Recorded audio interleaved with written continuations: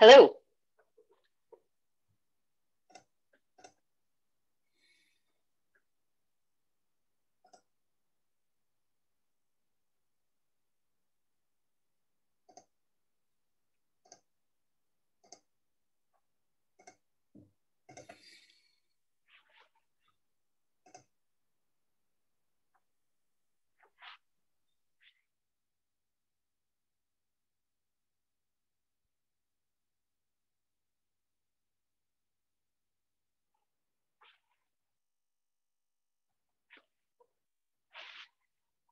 Hi, I'm just going to give it another minute or two for people to join, and then I'll kick off.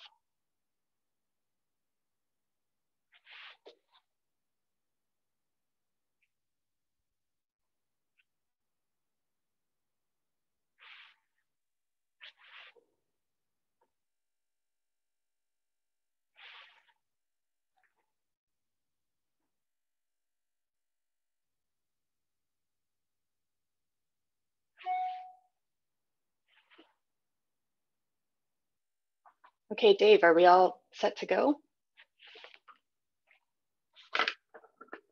Yes, we're good to go. Okay, great.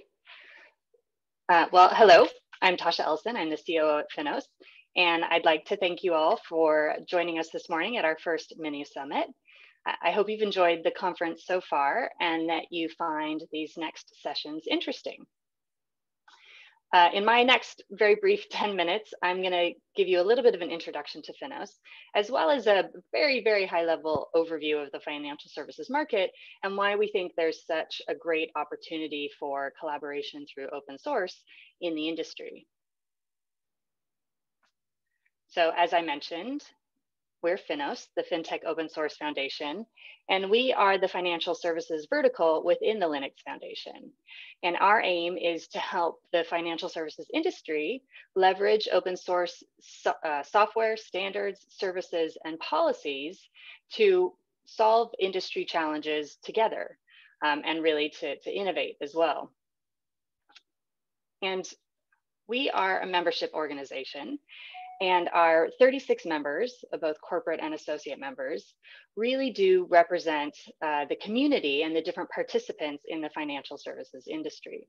We have large technology, we have large banks, large investment banks, and technology firms, both small and large, um, who really know financial services and open source. And we have associate members uh, who are um, nonprofits, other nonprofits, uh, government organizations, academic institutions, whose goals are, whose our aims for the industry are aligned with ours. Um, we have 37 uh, active and incubating open source projects, standards, and special interest groups, which is uh, new for our foundation, and a growing number of contributors uh, focused on our, our Finos projects. So it's a little bit harder than you might think to actually define financial services.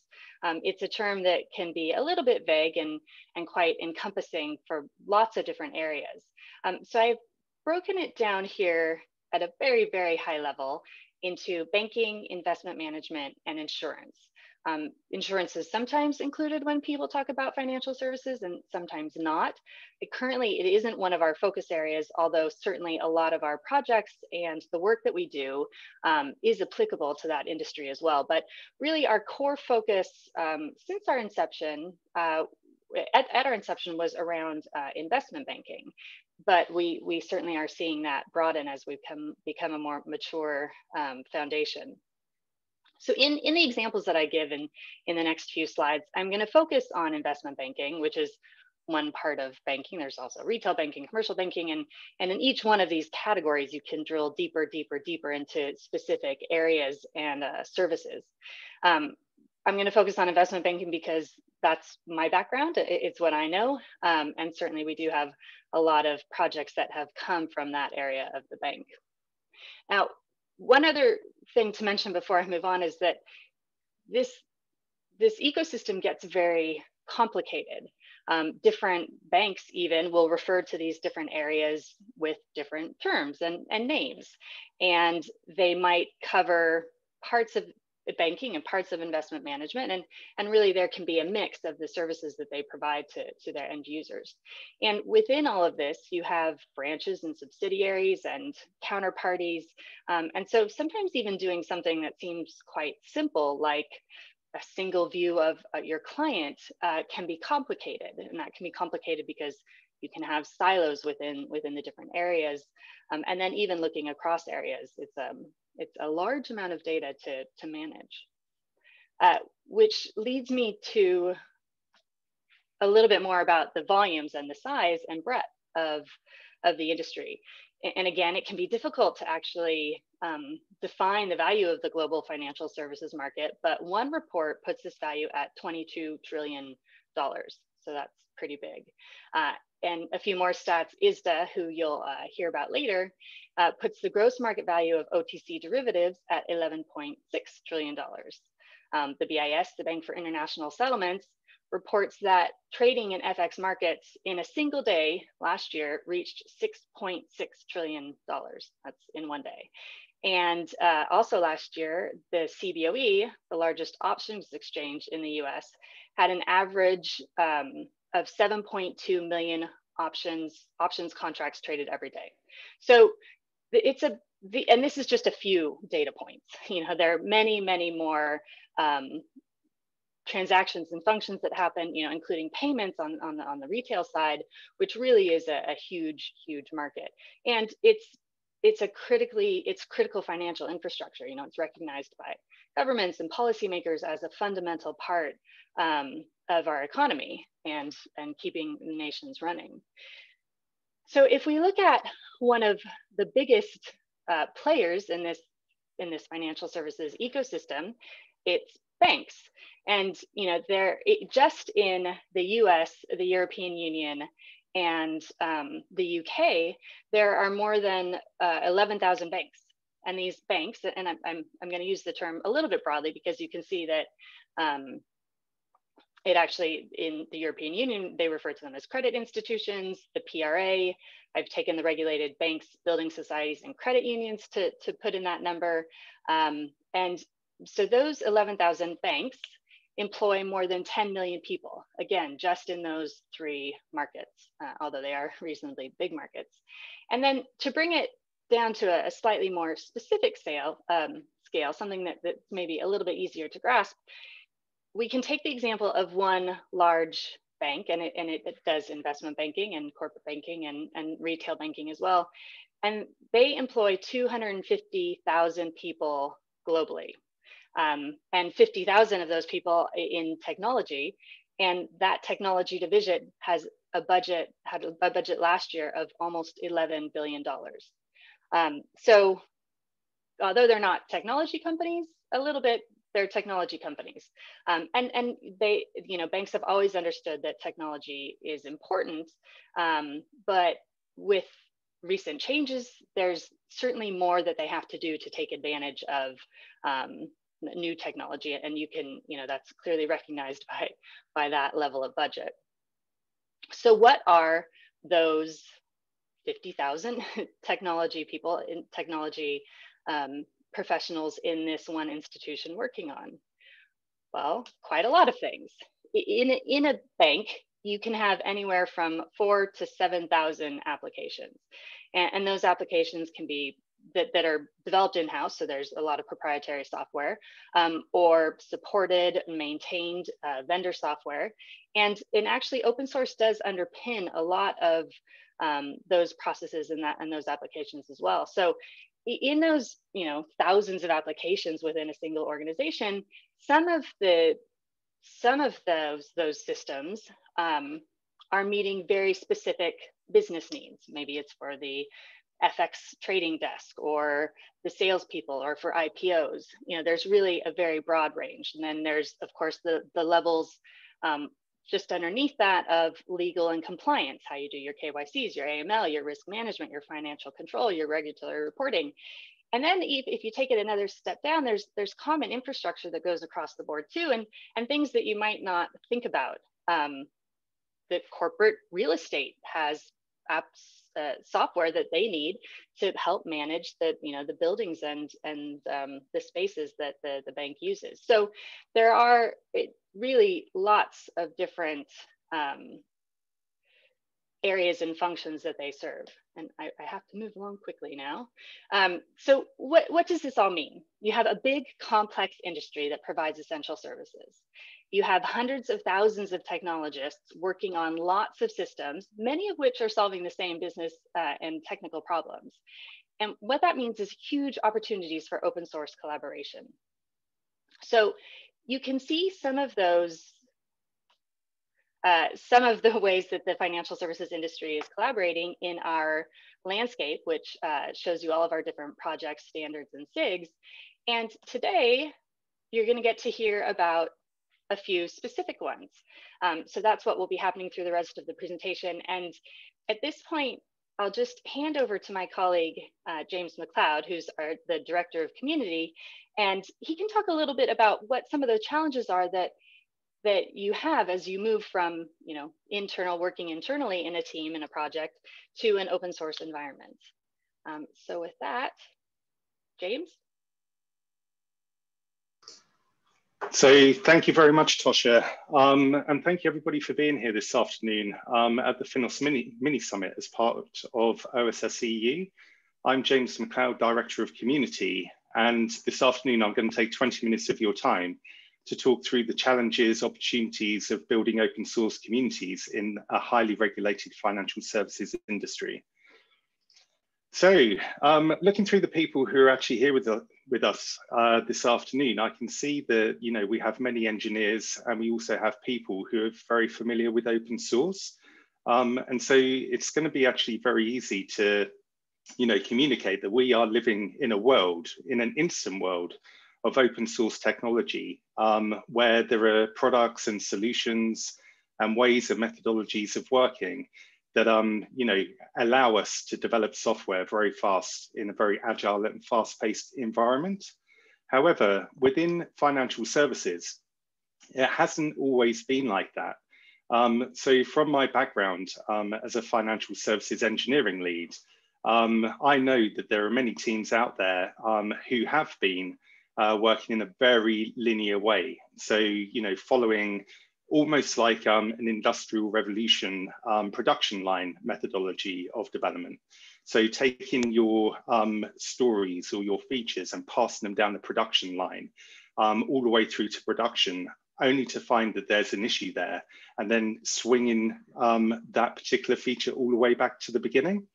However, teams are actually moving forward from that now, and I'm really pleased that um, uh, digital transformation and you know the move towards agile and DevOps has actually taken us um, to a place where teams are actually moving more fast. You know, we've got um, feature teams within banks who are actually sharing you know stories within their feature teams and working together to remove all of the blockers that slow us down um, from day to day. However, despite the fact that we are actually starting to deliver um, our features to our banking customers quicker, um, moving from you know the corporate goals through the production team, so all of the agile ceremonies that we actually go through, um, all of the various different you know DevOps methodologies that we go through, passing those containers through you know test, UAT, and then live into production, we are still finding um, that there are engineering and team silos um, forming even around those um, processes, which do speed that team up. Um, so even though, you know, we're getting, um, you know, prioritized features coming into teams, you know, and those same teams are actually um, fixing all of their defects and changes that are coming in from, you know, product owners and other people. And quite often those teams are actually running the infrastructure you know, whether that's cloud or whether it's, you know, other form of mainframes, we're find, you do actually find that those teams are still, you know, very much focused um, on their specific tasks and on their specific projects, um, which means that, um, you know, we still have duplication of effort running between teams. Um, we, although we're communicating very well within our teams, um, communicating outside of our teams can also be limited. Um, and quite often, you know, as we're looking at um, items to deliver to our customers, um, which are very feature and story driven, you know, sometimes we just want to get the job done. And so we go through um, a lot of, you know, reinventing and relearning the wheel. Now, from an industry um, point of view, um, if you take that on a global scale and then you multiply that across all of the various different financial services, you know, firms and, you know, companies that we have across the globe, all of those inefficient inefficiencies then get multiplied within all of the various different banks, whether it's retail, whether it's investment, you know, maybe even, you know, fintech um, firms are finding, you know, that they're creating inefficiencies as they start to get bigger the the problem of you know how we actually go from you know that linear um, process of de development into DevOps and then um, create even more inefficient, even more efficiencies out of um, inefficiencies still needs to be resolved. So uh, how do we actually do that? Believe it or not, um, a lot of these problems are actually solved by connecting people and teams together. So the connections between people and teams remove those silos that lead to software development inefficiencies. And so a lot of the processes and arrows and you know all of the various different technical documents that you write, you know, that look like they're joining things up, it actually comes down to the human side of connecting people. Now, in order to do that, it's actually relatively easy. Now, you do need to bring, you know, your banking stakeholders along with you, you know, because, you know, there's a lot of, um, when you're actually changing things inside um, an existing structure, you know, you need to make sure that the people who um, can advocate that change, you know, are on your side. However, they don't have to be massive corporate changes. You know, it can be within, you know, a couple of teams who are opposite each other. And ways in which you can do this are as simple as getting people together for lunch and learns, you know, that you can actually do virtually like we're doing here today. Um, speaking and attending and, you know, going to virtual meetups, taking part in hackathons and tech sprints, even um, attending other people's agile ceremonies. And so you might get together as a scrum team every day to talk about your problems, but can you actually visit another team and um, eavesdrop on the problems that they're having? And then you know speak to them about how you can help them solve their problems as well. Then uh, we also have the wider open source project meetings and also open source repositories you know across github and gitlab and you know other places where you know um, technologists and engineers hang out. And then you've also got the online wikis and online forums that you can take part in as well and so that's bridging the gap through communication. That's not even sharing code. Then, once you actually become very familiar with that, there are also ways in which you can bring those communities together so you can push the boundaries just a little bit further, but from within the boundaries of your corporate firewalls. So you don't have to venture outside of your four walls in order to do this. And that's called inner source. So inner source enables internal team collaboration within the safety of your corporate firewalls. Now, this is where your infrastructure teams and all of your various different um, stakeholders will need to get involved because this is sharing code. This is bringing um, a system like GitHub inside the corporate firewalls and then opening up repositories, you know, and shared libraries for people to start collaborating and solving problems together. So inner sourcing GitHub, you know, within the corporate firewalls are example mechanisms that enable internal collaboration. And that's as well as, you know, attending meetups and getting involved in the very, you know, people to people aspect of, you know, growing your communities, sharing your learnings and helping each other. Then once you actually become familiar um, with the internal workings of what you need to do in order to collaborate as a team, open source communities develop and improve software through code contributions, idea sharing, defect fixing, documentation writing, and continuous education. But this is on the outside of your corporate firewall. So this is what we're actually doing today. You know, being an OSS EU, we're actually breaking outside of our corporate boundaries and we're coming together as a big joined up community in order to start um, developing and sharing ideas and learning together on the outside of our corporate firewalls. Now, as you can see through this, um, this document, this is where um, Finos actually, you know, um, comes into, into light. This is where a lot of, you know, the advantages of being part of an open source foundation that's, you know, here to service the open source community for financial services comes into play. Now we're a very diverse and we're a very rich community of people across, you know, the financial services landscape. And we also um, have technologists, you know, who actually um, represent and develop a lot of the DevOps tools um, that we actually use in order to speed ourselves up, you know, as an engineering team. Plus, we also have technology companies, you know, who have an external perspective of how to solve engineering problems that we can actually bring into the Finos community, you know, that is an open source community to educate each other across the globe, across this diverse and rich community, how to do things differently, you know, how to solve those problems, how to bring that problem solving um, capability together. And then also are there any projects that have been inner sourced maybe from within your organization, from within your financial services organization or your technology company that would also be of benefit to other people on the outside of your corporate firewall.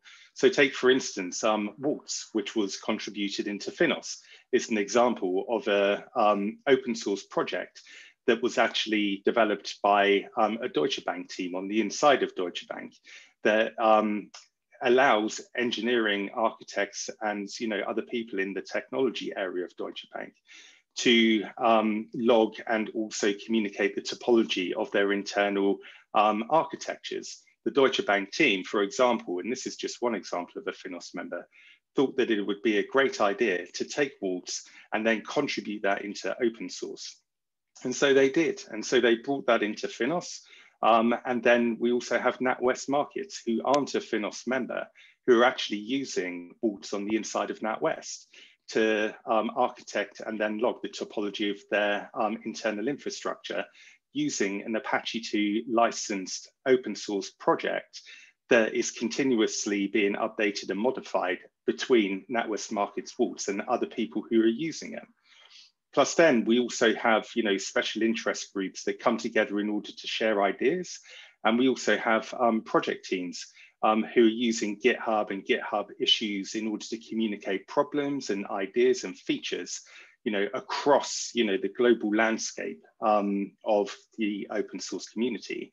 And as you can tell, I'm from the UK and Tosha uh, is a colleague of mine in the US.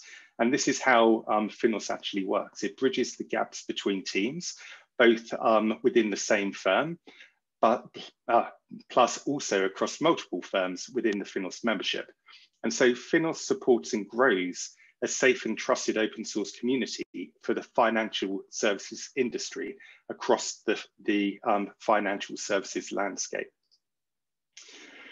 Now, the Finos community also bridges engineering team silos by solving common financial services technology problems from the collaborative open source vantage point. And so where InnerSource looks at the problems that you're trying to solve from the inside of your bank, Finos and the Finos open source community does that from a global reach.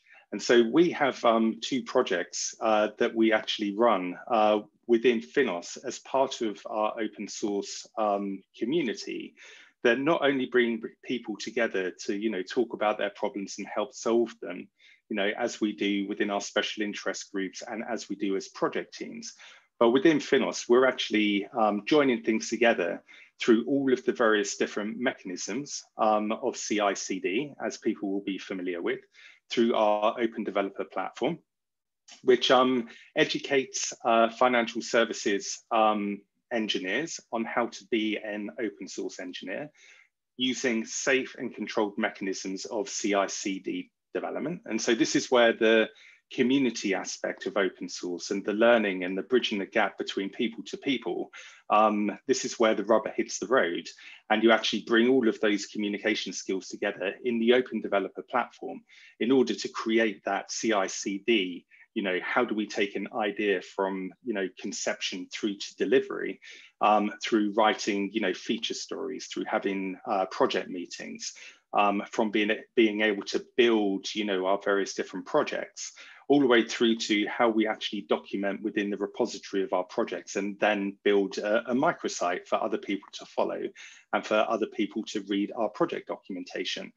ODP brings together um, all of that technology that you need to be a successful engineering team with um, all of the various different you know, communication that you need in order to communicate as a project team as well. Plus, we know within financial services um, that we need to be uh, careful, we need to be safe, we are regulated, you know, you know we have uh, the watchful eye of the regulators on us. And so we also provide um, a project called Open Source Readiness, uh, which bridges the gap between how we engineer and how we deliver features um, with you know governance and the people from within inside the banks who need to be you know safe and secure um, that we're actually doing open source correctly you know and even people who haven't um, got any experience of open source can join um, open source readiness um, because we bring uh, speakers um, from across the industry into open source readiness to tell their stories of how open source has benefited them and how open source can also benefit you and all of the various different you know checkboxes that you need to go through to take your firm from not being in open source through to being an open source firm. Um, plus we also talk about um, inner source as well because we understand that collaboration between people on the inside of the bank is just as valuable as collaboration between people and technology on the outside of the bank. And so Finos being the FinTech Open Source Foundation um, provides a safe place to share code and um, host repositories, plus provides all of the various different tools and mechanisms and people who have the experience in order to do this too. Now, um, once uh, teams actually start joining um, Finos, and once you've crossed the threshold of, you know, uh, joining that first call, um, or you know, going to github.com forward slash Finos and finding um, our open source organization in GitHub, you'll notice that um, we have uh, a lot of valuable projects um, within our repositories um, that are actually there for the benefit of everybody within financial services. Um, and also for the benefit of people you know, who want to break into financial services as well, because the Finos community actually helps people who want to become a financial services you know, engineer, but haven't got that experience and would like to join a team. So um, without focusing too much on our projects, I've just put a few examples, you know, up on screen now. Um, so if you want to go to Finos, um, the Finos organization on GitHub, you'll notice that Goldman Sachs has just um, contributed Legend. Um, we also have Perspective for any um, JavaScript engineers or anybody who builds WebAssembly. You can go in there and see how charts and graphs are actually built by the JP Morgan team. Um, we have cloud service certification, which we're you know, putting a lot of energy into in order to create um, regulated, regulatory compliant um, infrastructure as code across all of the main cloud infrastructures. So GCP, Azure, and AWS. Um, and we've got people from within banks and people within technology companies helping us with that.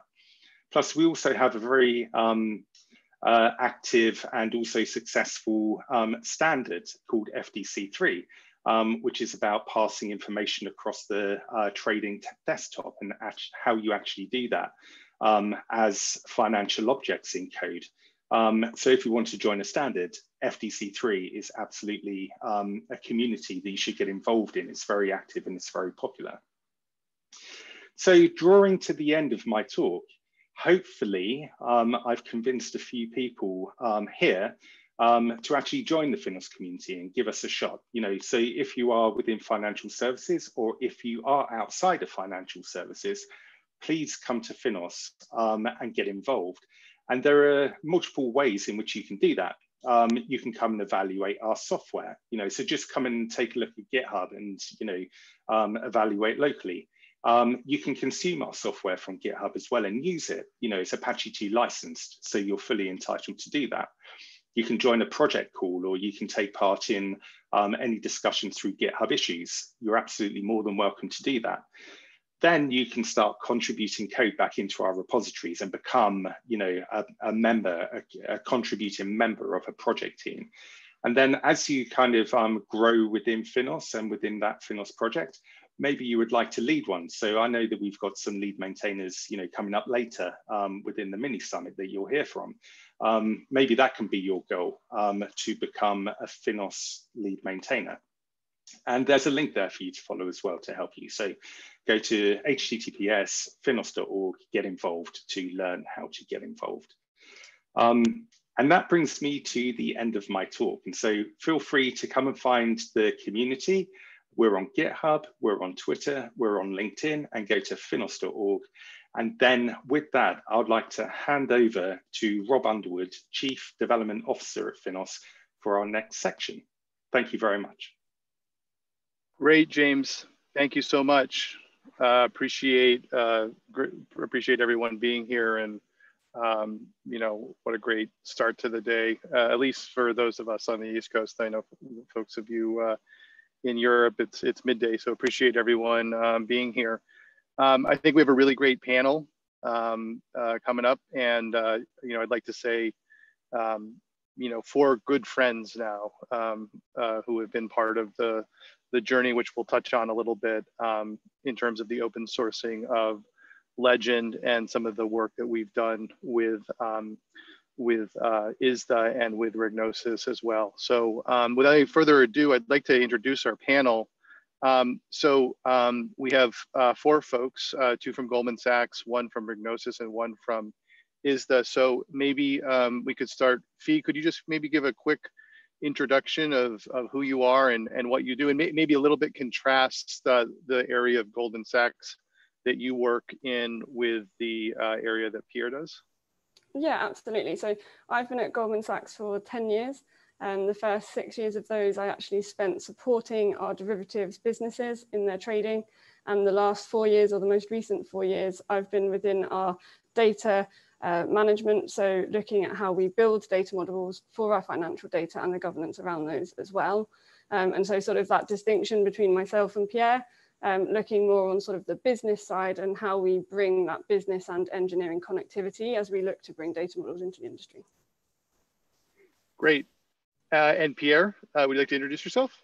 Yeah, hi, uh, I'm Pierre de Belen. I'm uh, managing the data model engineering team in Goldman Sachs within uh, data engineering.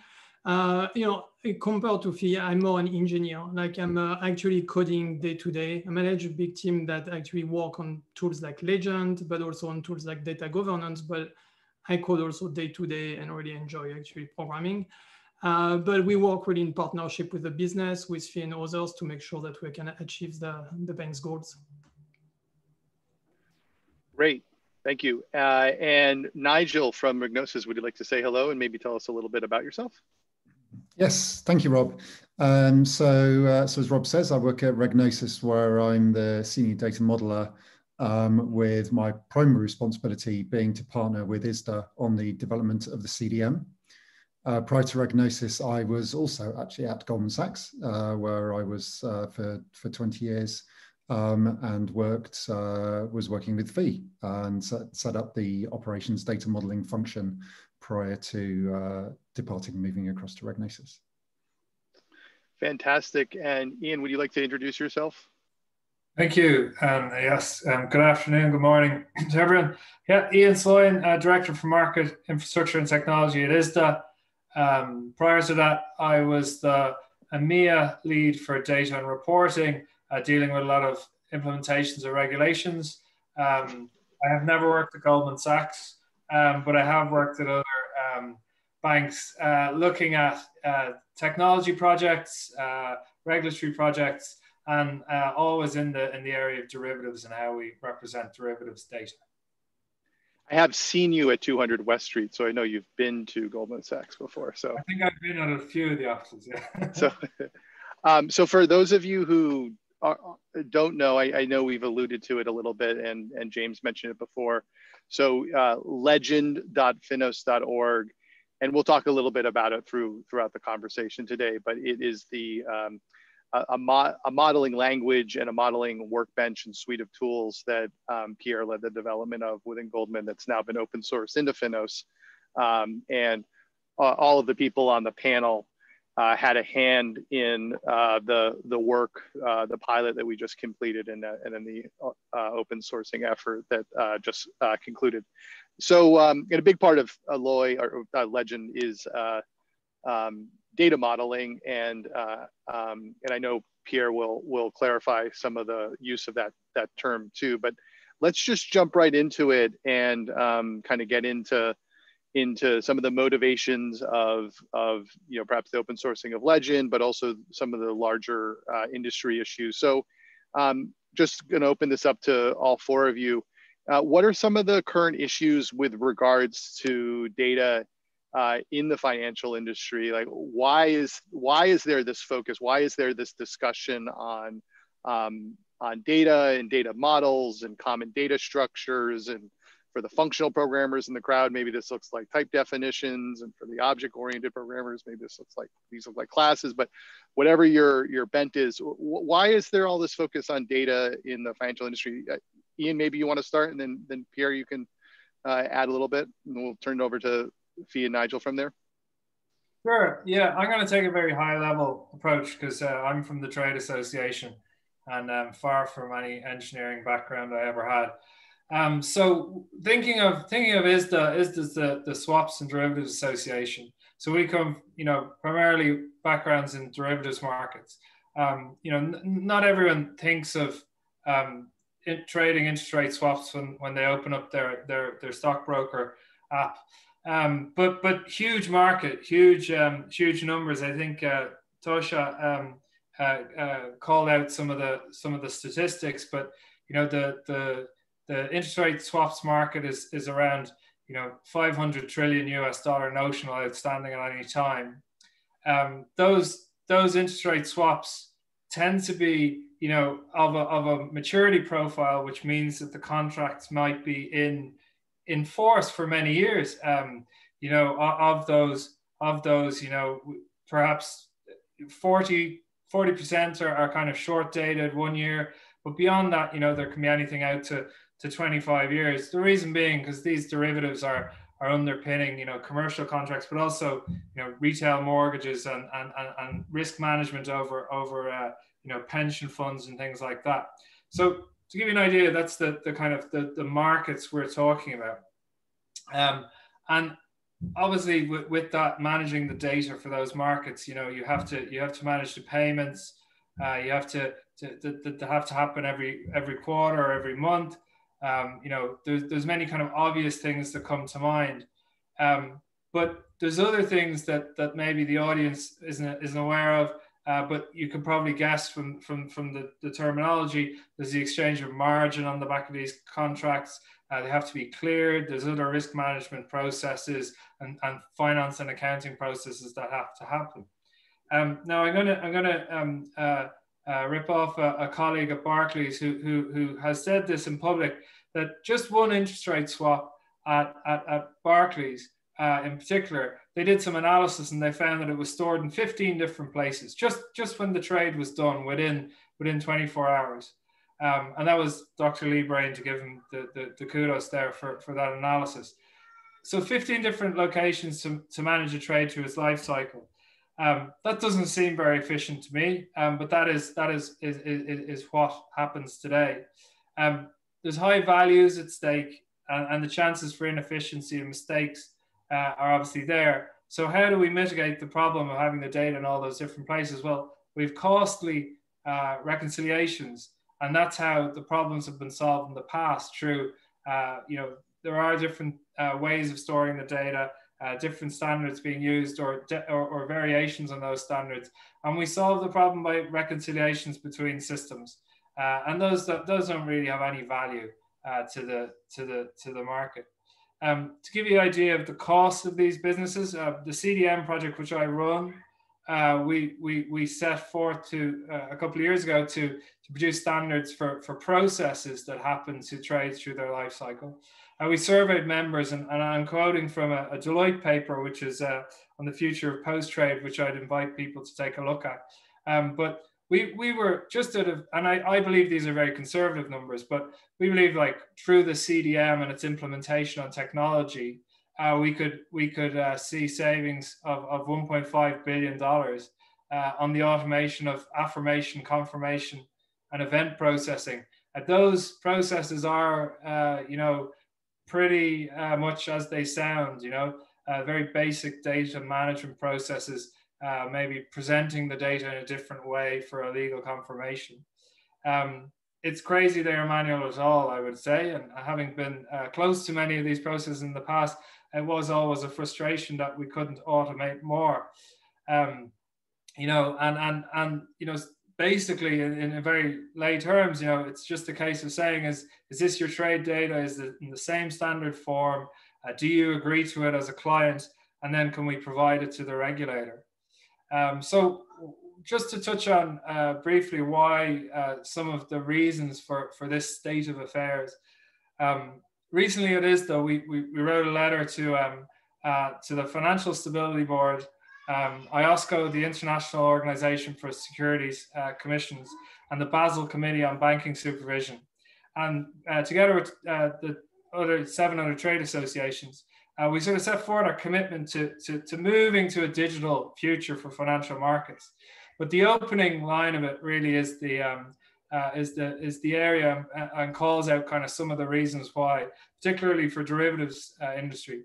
Uh, we noted that uh, the, the, G20 financial regulatory reforms, which were introduced in the wake of the financial crisis uh, about 10 years ago, uh, they've fundamentally altered the traditional operating structure of bilateral financial markets. Firms have implemented these regulations and associated requirements on top of existing infrastructure, placing significant demands on it. So that's really one of the reasons why we're in this state. Uh, regulations, but but you know, in recent firms or recent years, firms have had to, to implement these things, and, and often a, a, under a, a clock and a regulator's watch. Um, but even removing that, there's been a lack of golden sources of, of product data, uh, with, with, with, some exceptions which are actually uh, prove why, why they're important. And I think that's the future we're kind of aiming at and what the potential can be. Um, so I'll pause there because that was a, a, quite a long-winded first answer. And maybe Pierre will take sort of more more of a, a detailed view on, on how he sees the problem. Yeah, well, I mean, my thinking is not that far. Like um, as I, as you explained, like a lot of parties are involved in processing financial data, and they, they can be found across the industry, but also within a company. So it's not because you work within an organization that you're not facing exactly the same problem of having like different step of processing and different hubs and different kind of uh, environment where the information is, is flowing. So so why is like that? Like, I don't think it's that artificial. I think it's because processing financial information will require and requires a lot of special skills or special systems or steps that are, you know, done by many actors. So, but, you know, like this graph that, you know, is not artificial, we, we have to deal with it. And uh, we have to, um, to, to, to, manage the difficulties that come with like understanding like where the information is going and how it's flowing and how to smooth actually all this, all this connection. So the first thing that I would say we have to do on this graph is to um, maintain it and make it available, um, you know, and make it like transparent, like uh, to actually all the actors of the firm, but also regulators and also like uh, um, you know, auditors or anyone that want to understand better what is happening on our side. So definitely there's an operational aspect to it. Like if we understand how the information is flowing, it means that we can better manage our breaks, better understand the impact of something failing in, organi uh, in our organization. It means that we will, will be more in control of actually understanding the information is sourced the right way, which is actually really important for regulators. Like data lineage and data analytics, you know, ensuring that if we produce a number, this number comes from the appropriate source is really important. And it's really hard to do that if we cannot maintain actually the graph of information within our organization and outside our organization. I would say like, uh, you know, on top of this graph, like what we see also is that we have to maintain uh, fairly complex data contracts that enforce data quality across parties. So why? Again, because you have many, many actors that process information. All these actors get a different view on the data that they're processing, a different knowledge that they want to apply. So it's totally possible that someone downstream that process data would like to enforce some data quality constraints upstream, like when information is booked, when information is actually entered into the system. So, you know, when you have to manage this complex graph of information, you have to be able to make everyone contribute their vision of data quality in the system so that we can improve our data flow and improve our information is flowing. Um, the, the other part, you know, that comes out of this graph being complex is that we have to manage data privacy, data sensitivity. So, you know, when we flow information, you know, again, within a firm, we need to make sure that um, the right person can see the right set of information and only the set of information that they are entitled to see. You know, and it's not possible, for example, a banker to have any information about trading. It's not possible that for some desk to understand the position of another. And it's obviously not possible for people to access private information from our clients or employees. So, you know, like all these concerns are coming out of this kind of uh, fragmentation of information and flow of information. There's one last thing also that, uh, you know, I think is important and, uh, you know, different in the financial industry is um, that we have to milestone our information. Like it is super important for us to uh, be able to reproduce the state of information at one point in time. And it's really important to be able to reproduce compute, like in the context of an audit, for example.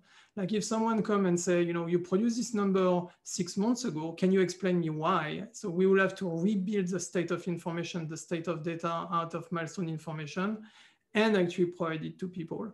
So, you know, that, you know, for me, like th these are like really the, the biggest like problems of data that we have to solve actually, uh, you know, day to day in, in our job. Cool. And Fee, what are your perspectives on this? And and maybe maybe you could talk a little bit about what it means to have models and and structures not only that are common within um, within Goldman, and that there's some of these um, issues that that Ian touched on around having representations of of you know what have you FX option for example in multiple places but what does it mean to have common data models in the industry and and what are your, some of your perspectives on these challenges from from from your seat within the Goldman organization yeah I think the um, additional thing I'd add to sort of what Ian and Pierre have already mentioned is in current sort of world, the idea of data is commonly owned within engineering, and that's sort of how it's developed across the tech industry and also in the finance industry more recently. And that role of strategizing and developing a data strategy um, is definitely sort of handled within engineering predominantly. And in finance, actually the business are the ones that actually create that data. And we have sort of perhaps lacked that communication in some respects between the business that are creating this data and the engineers that are sort of looking to store and process the data. And I think what we're starting to see, and hopefully we'll continue to see, is this communication between those two things to get to a much better state in the future as well. So I think that's one other current issue sort of we're working through. Um, so sort of what you were saying on the need for, for standardized data models, for, for me, it's about the communication across the industry. So as, as Ian mentioned, sort of regulators are asking for more things. We've seen more transparency needed within derivatives markets, so through clearing. And all of these things are services that are provided by many different vendors out there. And being able to communicate with them at the moment is a one-to-one -one mapping between each of them. And if we can standardize that message and that communication, that's where we're going to quickly reduce those operating costs that Ian was mentioning for the business. Yeah. And Nigel, yeah, yeah, yeah, Nigel, maybe you jump in a little bit with the perspective from Gnosis and also just some of the perspectives in terms of dealing with some of the regulatory concerns as well. Sure, I, I would definitely echo what what Fee just said. Um, you know, uh, for, from the introduction here, maybe there's the misconception that there isn't digitization. In fact, there's huge amounts of digitization in finance and there's massive amounts of data. And it's that lack of standard, lack of a standard data model, which um, limits systems from being interoperable. Um, so to, to what Fee just said, in order to take data and transform it through the trade life cycle, um, as it moves from execution through risk management, clearing, and into trade reporting, having that common standard that allows the enrichment and transformation of that message whilst maintaining the underlying data integrity is, is critical. And that's, you know, particularly when we think about the regulatory reporting, which in many instances comes later on in the trade life cycle, if you lose that integrity as it goes through the transformations, by the time you start reporting to the regulator, you are you you know you have issues with your data, uh, and that that translates in to having uh, difficult conversations with regulators because you're reporting incorrect information. Is there is it something that I think is implicit in in I think everything that you touched on, but I, would like to drill down a little bit more. Is is there something different or special about the the finance industry and the data problem within the finance industry? So certainly the tech industry has been facing, you know, the the the challenge of of of data and data models and and all this, you know, going all the way back to the ERP days and and and. But is there something specific about the environment in which uh, the finance industry finds itself, especially investment banking, capital markets, et cetera, um, that that present some maybe some unique challenges that uh, need to be dealt with up yeah. here. Yeah, no, as I think everyone touched on, I mean, the importance of metadata, tracking information about models, and, and metadata around data is really paramount and critical to us. And, and why is that? Like because when you look at uh, you know what the fin- what the tech industry is uh, is working on is deal with enormous incredible incredible amount of volume of data for you know um, individual data sets. And I would say, you know, if you look at the problem we're, we're facing, like I would say for each individual individual data sets, our volume is pretty much medium. Okay. However, we have a lot of data, set, data sets. They have a lot of depth and they are interconnected in a really complex way. And I think that the difference, you know, we it's not a high volume um, simple data structure problem. It's like a medium volume, extremely complex depths of infrastructure that uh, of, of data structure that work all, all, all, over the place. So because of that, the, the day-to-day problem that, that we solve is not really like, oh, I, how can I run this super complex calculation massively on an incredible large data set, which the, the tech industry is doing super well with like so many framework and so many good tools. I mean, our problem really is more you know, out of this graph of information, where is the information I'm looking for? Like it's actually fairly complex sometimes to know even where to actually look at. You know, like the second thing people will ask, you know, when they find it, like, is it actually the right place? Like, is it the right originating source actually for the information that I uh, that, that, that I'm requested, I'm request, re requesting, sorry. And like after people will say, but now am I authorized to see it? Okay. So obviously like system control that, but like if someone is looking at information and cannot find information, they say, okay, I'm authorized, I should see that. Now, how can I acquire actually the rights to get the information, which is fairly tricky out of all these kind of data set and all these actors that own like different kind of set of information. Like the, the then they are like, okay, now I, I, I'm entitled, how can I query it? How can I safely get the information? And once we get that, it's like, well, can I store this information? Can I redistribute this information? Because, you know, as, as we saw before, we have privacy and sensitivity, uh, you know, constraints in manipulating our data, but we also have licensing uh, constraints with actually the vendor that provide information to us. So like, and when, when you look at you know what uh, Nigel was touching on about uh, re regulators, you know, like when we get this information and we're like, okay, but I see an error in this information. How can I make sure it's corrected at the right place? And how can I make sure it's not going to happen again? So you see like the, the, the kind of problem we deal with seem to be a little bit different than the, the kind of problem that the, the tech industry is solving. So, and, and to answer and to, you know, be able to maintain all this kind of metadata, you know, around actually the information we process, the emphasis is really put on modeling, you know, modeling, meta modeling, so that we can also, you know, manage our models better. Uh, you know, as much as possible, leveraging data standards and, uh, you know, data, um, the, like data standards that are available outside so that when we communicate inside, we can easily communicate uh, outside. So, I mean, like really like, you know, being also uh, coming from tech, you know, like that, that's kind of what I feel is really big difference. And that's why, you know, model is actually coming all the time in discussion in finance. So what are some of the the complexity we've touched on a little bit, but but uh, Nigel and Ian, any other sort of forms of impacts or, or types of issues that, that emerge from all of this complexity? Yeah, sure. And, and sort of, you know, developing on, on what Pierre said uh, and uh, reiterating maybe some of the numbers that, that Ian had given and, and Tosha referenced at, right at the start. You know, when you when you think about the notional of interest rate swaps that are traded, say on a weekly basis, three to four trillion dollars, which is a very big number, but that that translates into about thirty thousand trades. So from a volume of messaging, 30,000 trades isn't a huge number of messages to be sending around on a weekly basis. Um, and 60% of those are traded electronically and 90% of those are cleared at a clearinghouse. So there's a lot of data that is being sent around, probably in a variety of data formats, or not probably, definitely, in a variety of data formats, um, depending on where the platform, where what platform the trade was executed on, where it's being cleared, etc. And so if data inaccuracies are generated, then there's a huge risk of operational error um, caused by either incorrect risk management of a position because the economic details are wrong or, or incorrect, uh, incorrect payments.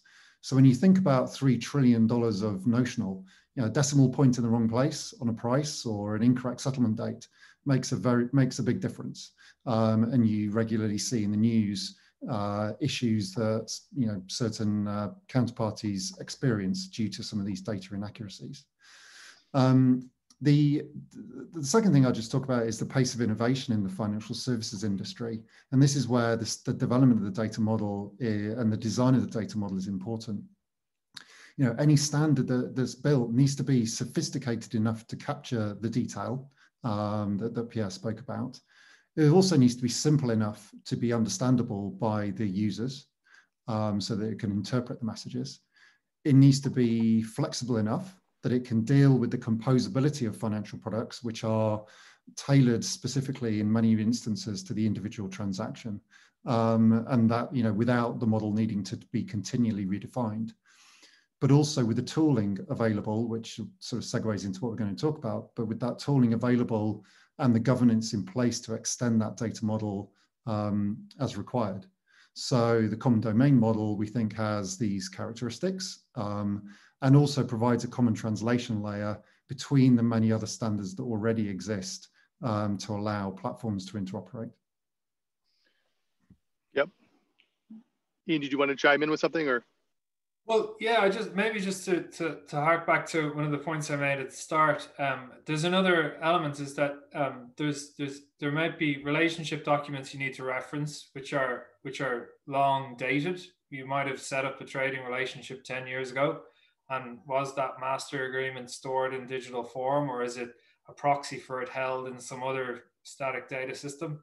All those things are challenging, and, and, and it goes to sort of lineage as well. Where did this decision come from to make this payment? What's it based on? So that's the only thing I'd add. It and it's another dimension to the to the to the problem. Uh, so it's yeah, but I definitely echo the idea. It's complexity of the data rather than scale um, in volume. Great. So let's shift gears for a little bit. Um, we've got about uh, a half hour left, and I want to make sure to to leave some time for questions. So um, we're here at a, a, summit about open source and um, probably a lot of folks are interested in in uh, where open source fits into all of that which we've we've discussed so far. So um, maybe uh, maybe starting with Fee, how do you, so we just spent you know the, the four of us amongst the you know a group of you know about 20 25 other people we just went through this effort of of doing this this pilot of of using legend with uh, you know several other investment banks and other institutions um, and now Legend is is is open sourced. And part of the open sourcing of the Legend code is the fact that now we have these models that are built in the Legend language that themselves are open sourced. Um, so uh, maybe Fee, starting with you, talk a little bit about why open sourcing data models, not just the code for the underlying workbench and language, but having the, the models themselves built uh, or, or being able to be distributed as, as open source code. Why is that a good thing? And what are some of the benefits that um, we're, we're sort of all expecting and, and, and should see within the industry from that? Yeah, thanks, Rob. So hopefully from what we've already discussed, you can sort of tell the need for data models um, and they definitely do exist in the financial industry already commonly probably more so within individual institutions, but sort of CDM, as we've mentioned, being one of those standards externally trying to standardize the industry as a whole. And so sort of as you said, Rob, why open source? And I guess that standardization piece is the really important bit. That's the piece that's going to bring us our reduction of costs um, and our improvement in sort of trade processing. And so in terms of open source, I think of this in two ways. Um, so one is the visibility and the access to these models um, and, the, and sort of the benefits that that brings, but also the development of these models.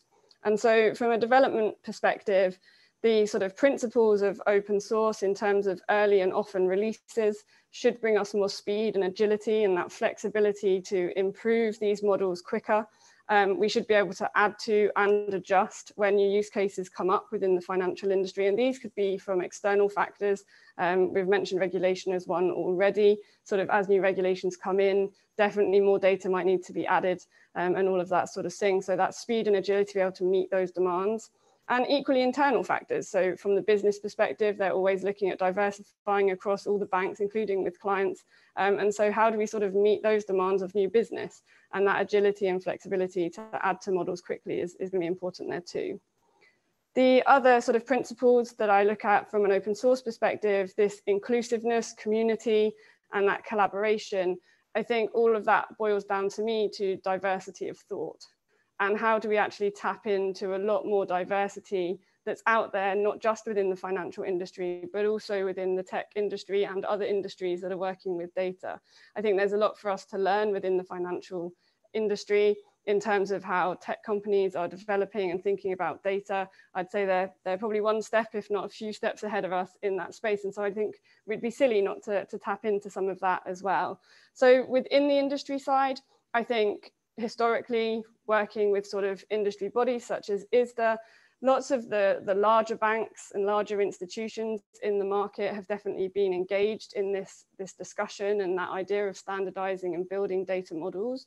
But perhaps the clients and the vendors and vendors and service providers haven't been able to get so in touch with those conversations. And so by open source, by that availability, by expanding that community, hopefully we'll get more diversity of thought from across the financial industry. And as I mentioned on the, on the outside industry side of things as well. So that's kind of how I see open source helping with the development of these models. And so when I talk about visibility, I guess that comes down to the principle of transparency. So these models are now open, they're available, everyone can access them, and that should hopefully help us speed up the adoption of these models as well. And really it's at the adoption level that we really gain the benefits. It's all well and good as having these data models available, but until they're being used, it's not going to do us much help in reducing those costs. And so I kind of, they are connected. Um, that adoption is going to come by having better standards, by having more heads at the table when we're building those standards. And hopefully that will speed up the adoption too. And finally, for me, it's governance. So I think we've sort of alluded to that as well already through this discussion. But sort of this financial data is going out to regulators, it's going on legal confirmations, it's requiring how much margin we're, we're settling. And so that governance over the data is, is vitally important in the financial industry too. In terms of the open source, so the SDLC of code brings us governance in that respect in terms of how we are committing code, who's committing code, when it's being committed, um, and also industry bodies such as ISDA um, have to be there to actually sort of govern who's putting into these, these uh, data models and, and how they're going to be used and sort of helping to disseminate that across the industry. Great. Um, and uh, Ian or Pierre or uh, any any sort of other examples in particular and any any ways in which you see open source models being used out already in the industry. Um, Nigel as well. I'm not. I'm not sure who wants to jump first.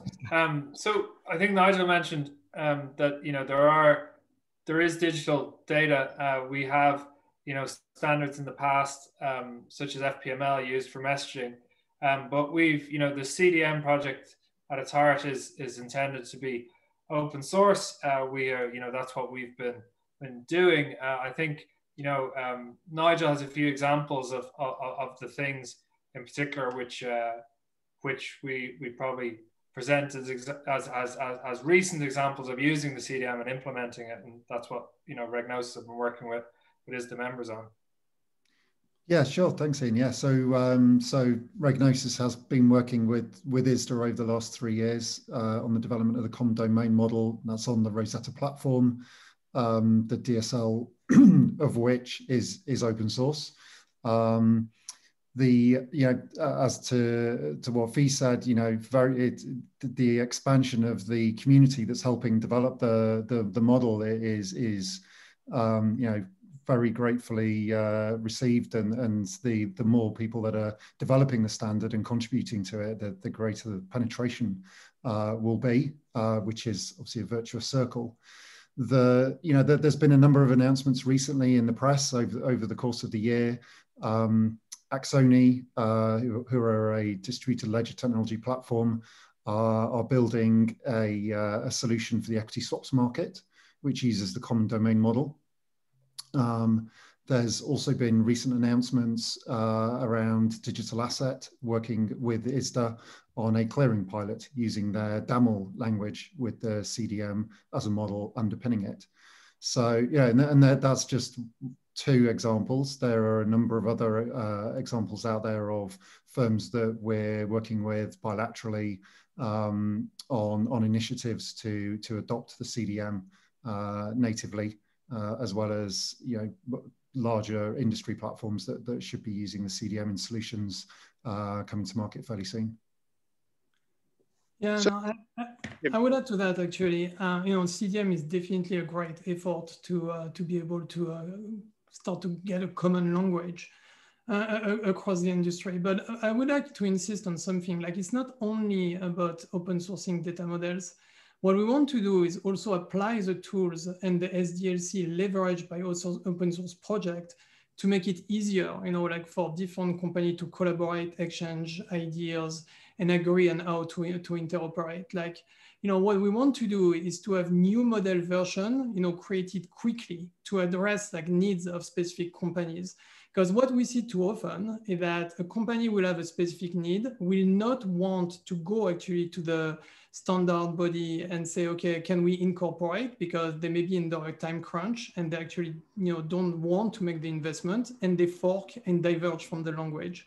So what is really important is to smooth this process learn from you know what the open source community has been doing for some time you know gathering a lot of developers or you know like in this case a lot of business actors and a lot of uh, technologists to you know refine the specification and, and get you know a, a, release of version that is really accelerated like our feel that we want to accelerate the process so that we never or as less as possible diverge from common language that is agreed uh, across the industry.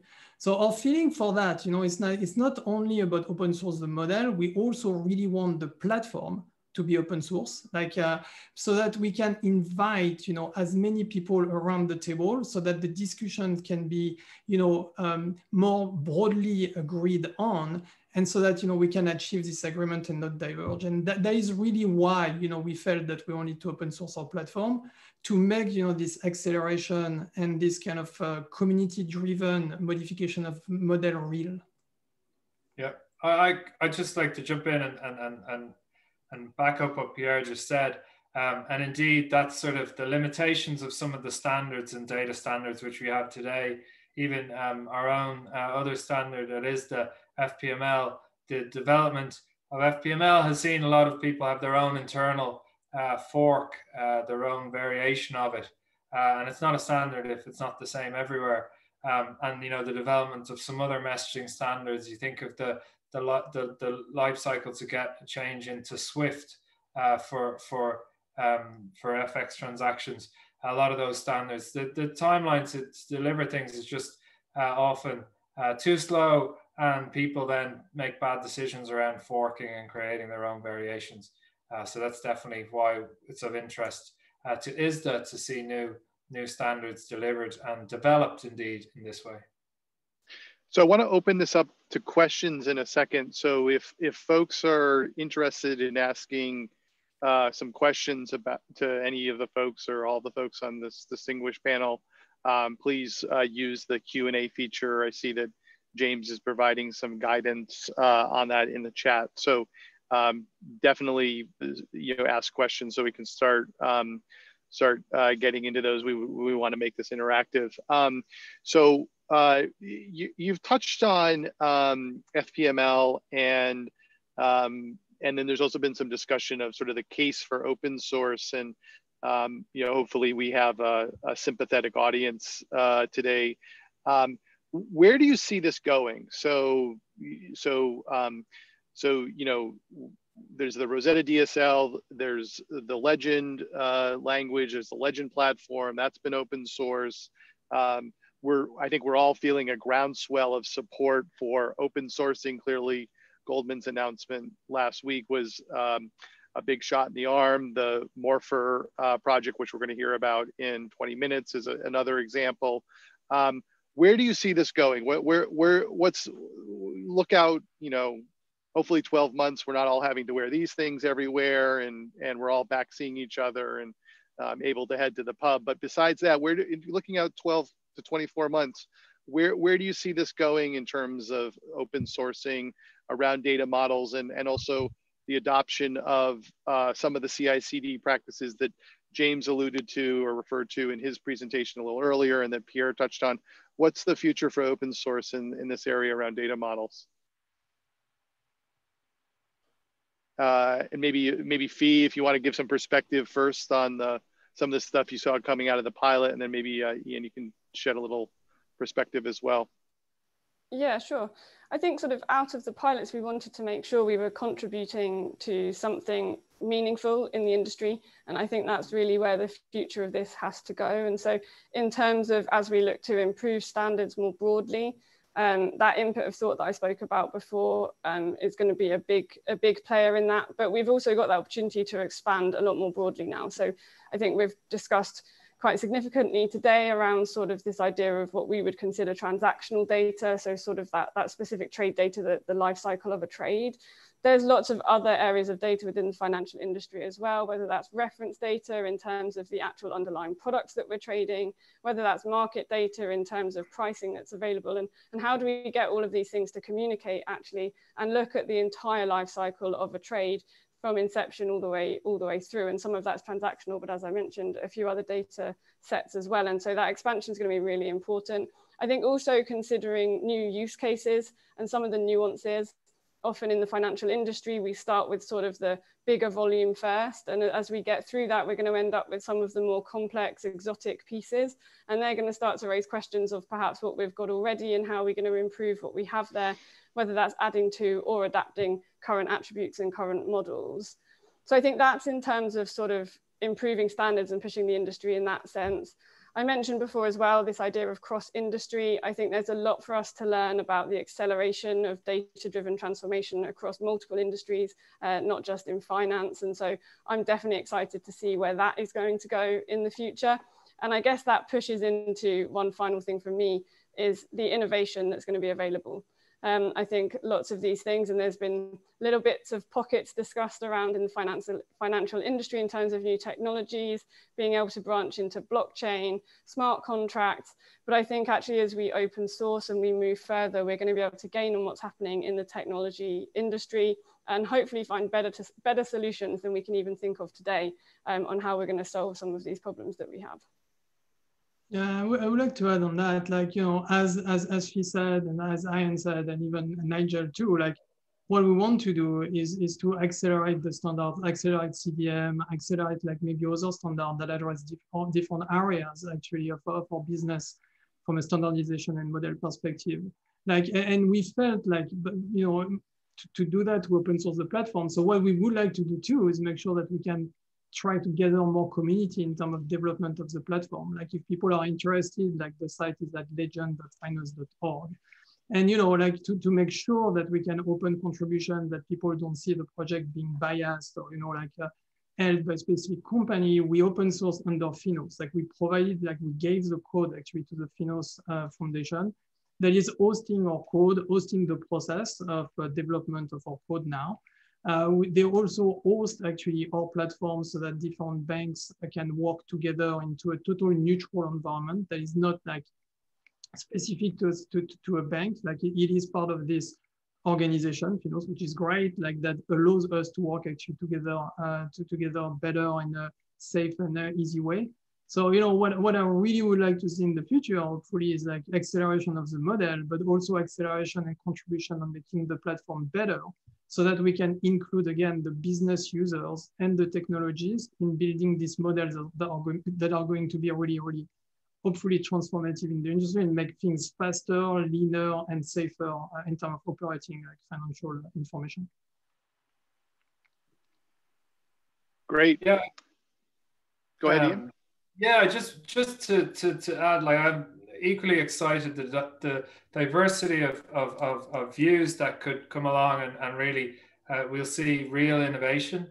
Um, that's very exciting to ISDA. Um, you know, and also uh, you know, ISDA's mission um, is, you know, safe, efficient markets, uh, but also trying to, to, to, to make access to those markets a lot easier. Um, and how we do that is by making things, you know, open source. Uh, ISDA's legal standards, the master agreement was essentially an open source document, which was published in the 80s, which made, you know, interest rate swap market, which was a bilateral market between a couple of banks, you know, across the Atlantic, um, to to go from a you know a few hundred million to the trillions, the hundreds of trillions we quoted earlier. Um, this is the same thing. Uh, we give people access to the same technology, um, the same software uh, that that banks can use. We can only see good things happen. The uh, the only uh, one thing I would add is um, you know, an area of particular focus for for ISDA and REGnosys is development of digital regulatory reporting. Um, you've touched on that through this conversation, and, and we think that um, partnering with regulators to create machine readable, machine executable reg reporting, we can drastically reduce that cost of compliance. The CDM is a, is a core component of that because it provides the common data model to, to represent the transactions. Um, and that was recognized recently in a G20 uh, tech sprint competition. Know, that's a, that also is a, is a you know, good link to the Finos RegTech workstream, which is focused in this space. Um, so that you know, there's crossover between uh, multiple Finos work streams also, and looking forward to working together on on that topic um, together with Rob and others as the uh, agenda progresses. Just Nigel, just a, Nigel, you, na- you nailed those talking points. Good, that was great. Sorry, go ahead. Just one, just just something on that that to maybe give that what what we just talked about the digital regulatory reporting. Um, I, I, was speaking to a particular uh, sort of large global entity in the financial services, um, a large sort of regulatory entity, you might say, um, and they they talked about changing the culture of how we deliver regulation, and I thought that was a great phrase to to, to change that you know to have these open models which we can all work on together and also have that conversation with regulators and demonstrate what we mean when we say your regulation doesn't work or you need to improve the law here because it's unclear to the market. We can demonstrate that with data now through models and through platforms like legend and, and, and the cdm yeah.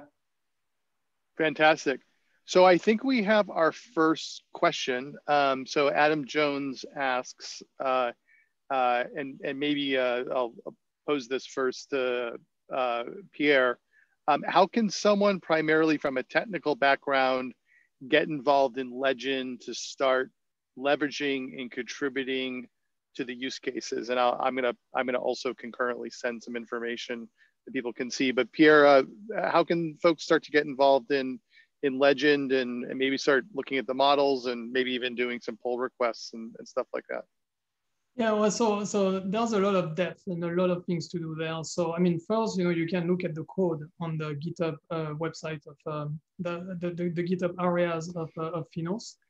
Um, the, the project is structured in many modules, and there's uh, there are things to do for all kind of developers really. Like the, the, the first thing is like Studio, uh, which is our like uh, edi edition environment where people can, uh, you know, work in JavaScript to improve the way people enter model, manage model, uh, enter code.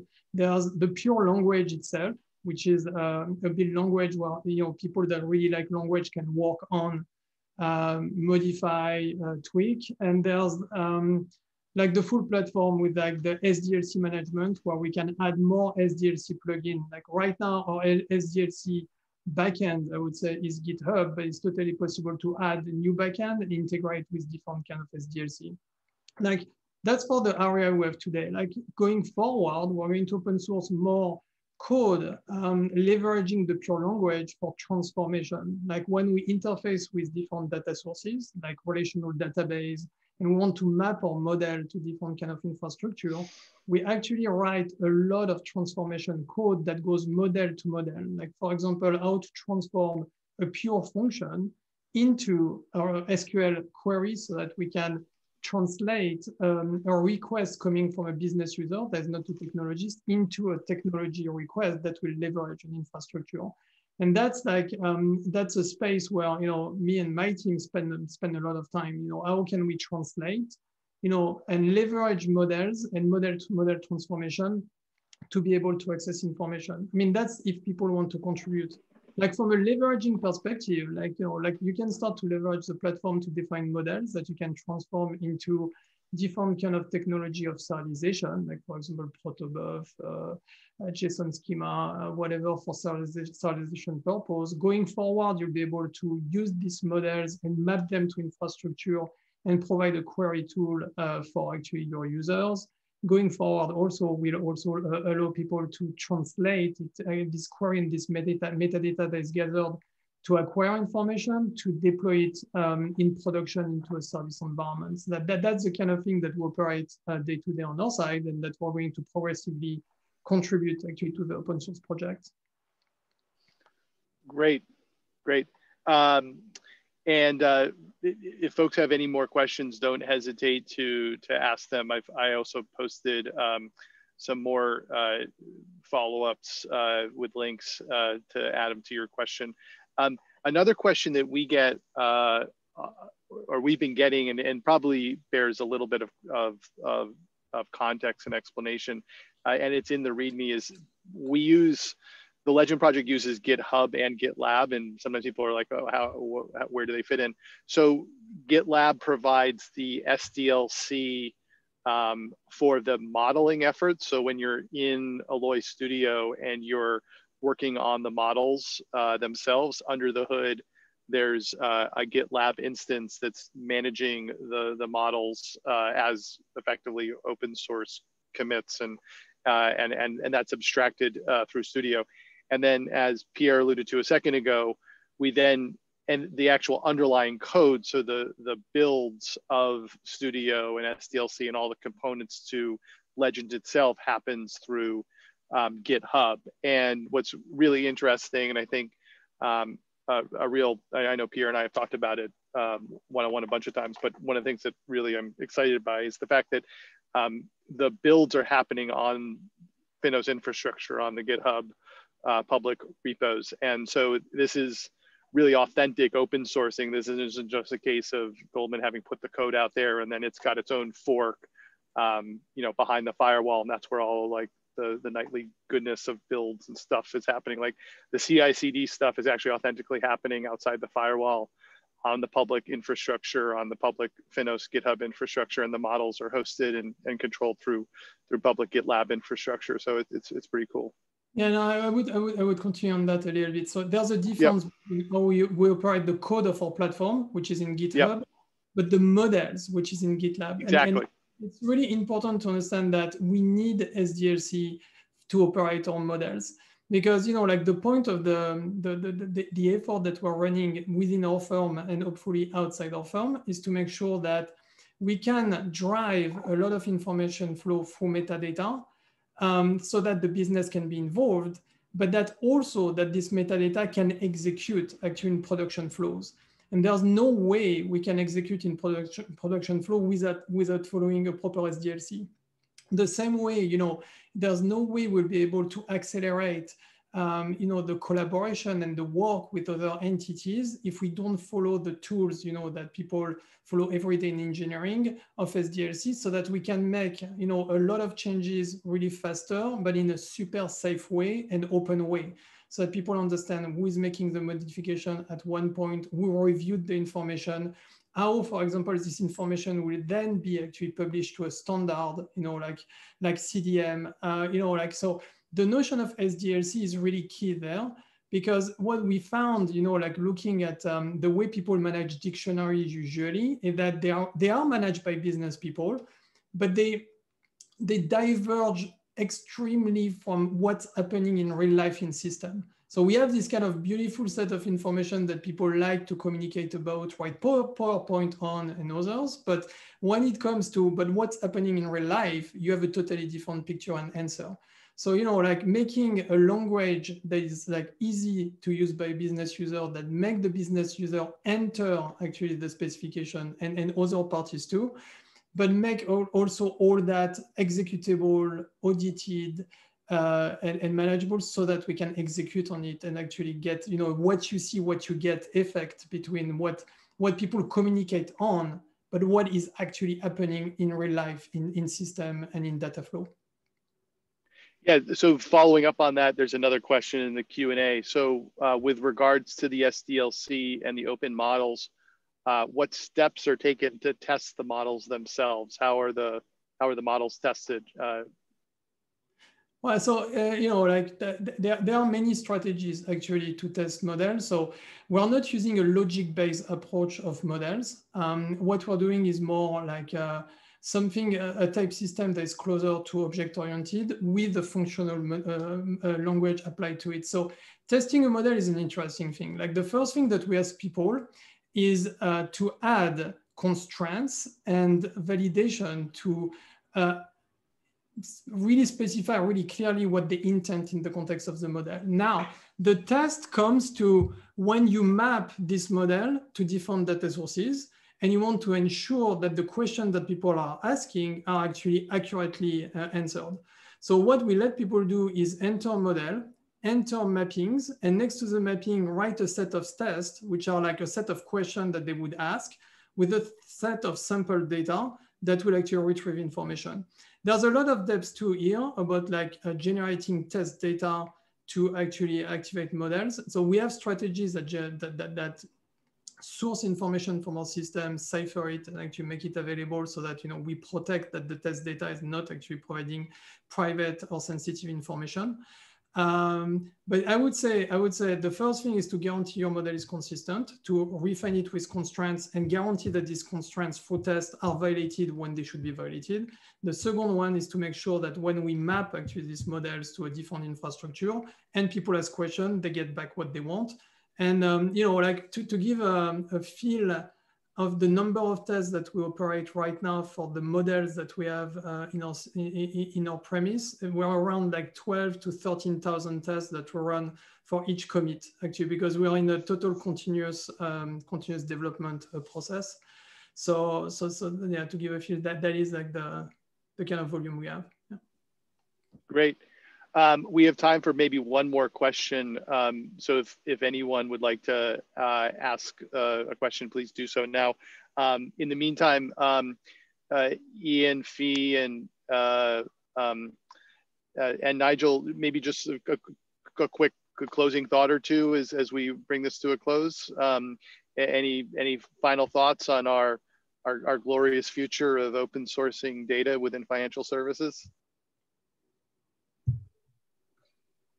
Uh, not really. I think we said it all. I think we're very excited um, to see the shift. Uh, I can certainly um, attest to the fact that you know uh, these these stuffy old financial institutions uh, have have really changed their minds and they're starting to see the benefits of open source and a lot of the new technologies in the last couple of years in a way we, we have been really really happy to see. Great, Nigel or Fee? Yeah, I think for for me, it's sort of that excitement of where this is going to go next. And I think, if anything, it's probably a call to to everybody to sort of get involved, whether you're finance or not finance. There's ways of doing that, whether through Finos or other industry bodies. Sort of start contributing to this, and we'll, we'll start to see where that innovation takes us. Yeah, I'd, I'd, echo all of that. The the acceleration that we've seen over the last few months through the uh, Finos pilot work streams uh, has, you know, we've had a huge amount of development in, in the CDM just over a very short space of time. So it's really exciting to see and, and hopefully that will continue. That's great. And, and I will attest to the lack of stuffiness because I actually put on a collared shirt today for the first time in a year, but I know full well that if I were to wear said collared shirt to the 23rd floor of 200 West, I would be overdressed. So, and Pierre's laughing because he knows it's true. So uh, uh, anyways, I'd like to thank everyone on the panel. This was fantastic.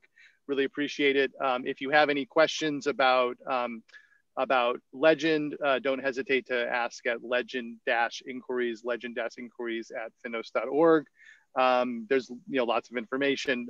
Definitely dig in as well on the is the CDM and some of the good stuff happening there. And uh, the work uh, that the REGnosys team is doing on Rosetta, and which is uh, uh, the DSL that the CDM is represented in. Um, so lots of good stuff happening. Thank you to everybody who's here.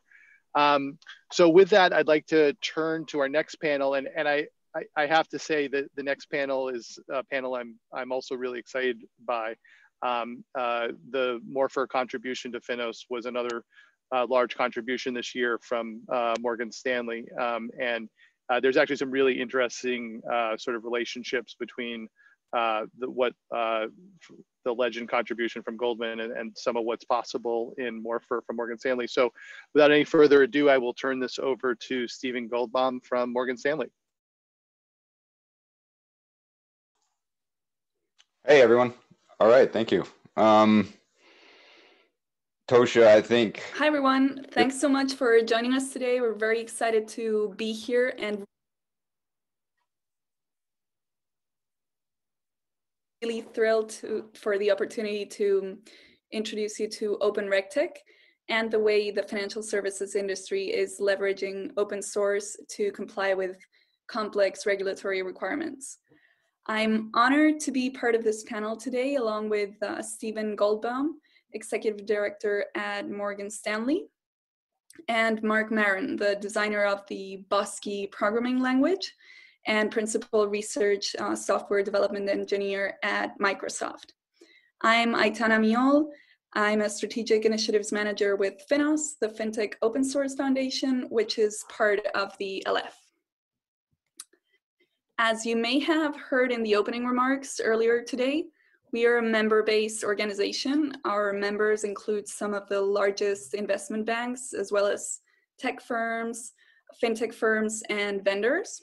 And our goal is to enable open source in financial services. And we have a community of hundreds of developers and subject matter experts from financial institutions, uh, tech firms, and, and vendors collaborating on our open source projects and leveraging the efficiency, the cost savings, and all of the other benefits of open source. We host over 40 active and incubating projects, all of which live on our Finos uh, GitHub organization, and some of which you will learn more about today. So earlier this year, we launched our Open RegTech initiative in response to two complementary realities on one side, by definition, our projects focus on, on technology solutions to common challenges and use cases in financial services. And uh, importantly, uh, solutions that do not provide a competitive advantage. That is to say that our projects target challenges for which many organizations would need to normally build a similar solution. And the idea behind our open source projects is to bring all of those actors together get them to collaborate on building a solution, and most importantly, to stop uh, reinventing the wheel and wasting time and resources to develop the end iteration of a very similar solution. And at the same time, we're promoting open source in financial services, but we were missing the perspective of a key industry participant, which are financial regulators. And not only were we as a community missing them, but they were also missing out on all of the opportunities and, and benefits of open source collaboration. Therefore, we launched the Open RegTech initiative within Finos with a twofold objective. First, to streamline and mutualize regulatory compliance efforts at banks through collaboration and open source projects. And on the regulator side, the goal is to get them familiar and comfortable with open source, address the concerns they may have, and also show them the potential of open source for regulatory supervision and for issuing regulation. Our very ambitious vision for Open RegTech is a model in which regulators adopt open source code and best practices and define regulations in open source code form while retaining full visibility on, on their supervisory activities and, and monitoring. And where on the other end, industry participants collaborate to codify and standardize those regulations and to mutualize the interpretation of, of regulatory requirements. We know this is a very ambitious and, and long-term goal, but we're very excited about the interest and engagement that we've seen from the community so far. And we're also looking forward and working hard to uh, see this vision become a reality. So where do we stand now? Uh, when we launched the initiative earlier this year, we were expecting we'd need to do a lot more work to educate and convince regulators about the benefits of open source and also to debunk the myths around open source security and vulnerabilities. But we have been very pleasantly surprised uh, by the response from the regulatory community, both in the US and in, in Europe, who are a lot more familiar and comfortable with open source than we initially thought. And I also think it's safe to say that they're already on the next phase. So they're eager and looking forward to identifying use cases and, and projects to start collaborating on. Some regulators in the US, like the CFPB, are really mature open source consumers and contributors, and even have an open source first policy. So they do all um, in open source. We are in in ongoing conversations with US and European regulators to discuss potential collaboration opportunities and even some potential open source contributions by regulators, which is really exciting. Uh, we have also had AIR, the Alliance for Innovative Regulation, join Finos as an associate member recently. AIR is a US nonprofit uh, focused on promoting innovation in financial regulation. And we will also have representatives from the CFPB and former regulators join our upcoming open source strategy forum on November 12th and 13th. And more recently, just last week, our board approved the creation of a regulation innovation special interest group led by ING and the Alliance for, for Innovative Regulation, which will provide a venue for regulators and financial institutions to discuss and identify specific challenges um, that they like to tackle through open source collaboration. Special interest groups, just to um, uh, clarify that because it's, it, it may be a, a, very common term, um, they're supposed to work on the problem space or the definition of the problem or challenge. And then once that's been identified, it would be up to uh, a project to develop a, a, solution through open source software and, and, standards. On the other branch of our twofold effort, uh, the one around identifying projects for financial institutions to collaborate on, we've seen fantastic progress as well.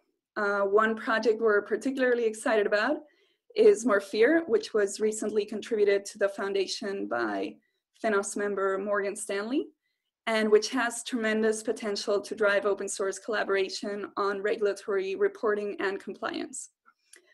Morphir is a multi-language system built on a data format that captures an application's domain model and business logic in a way that is agnostic to the technology.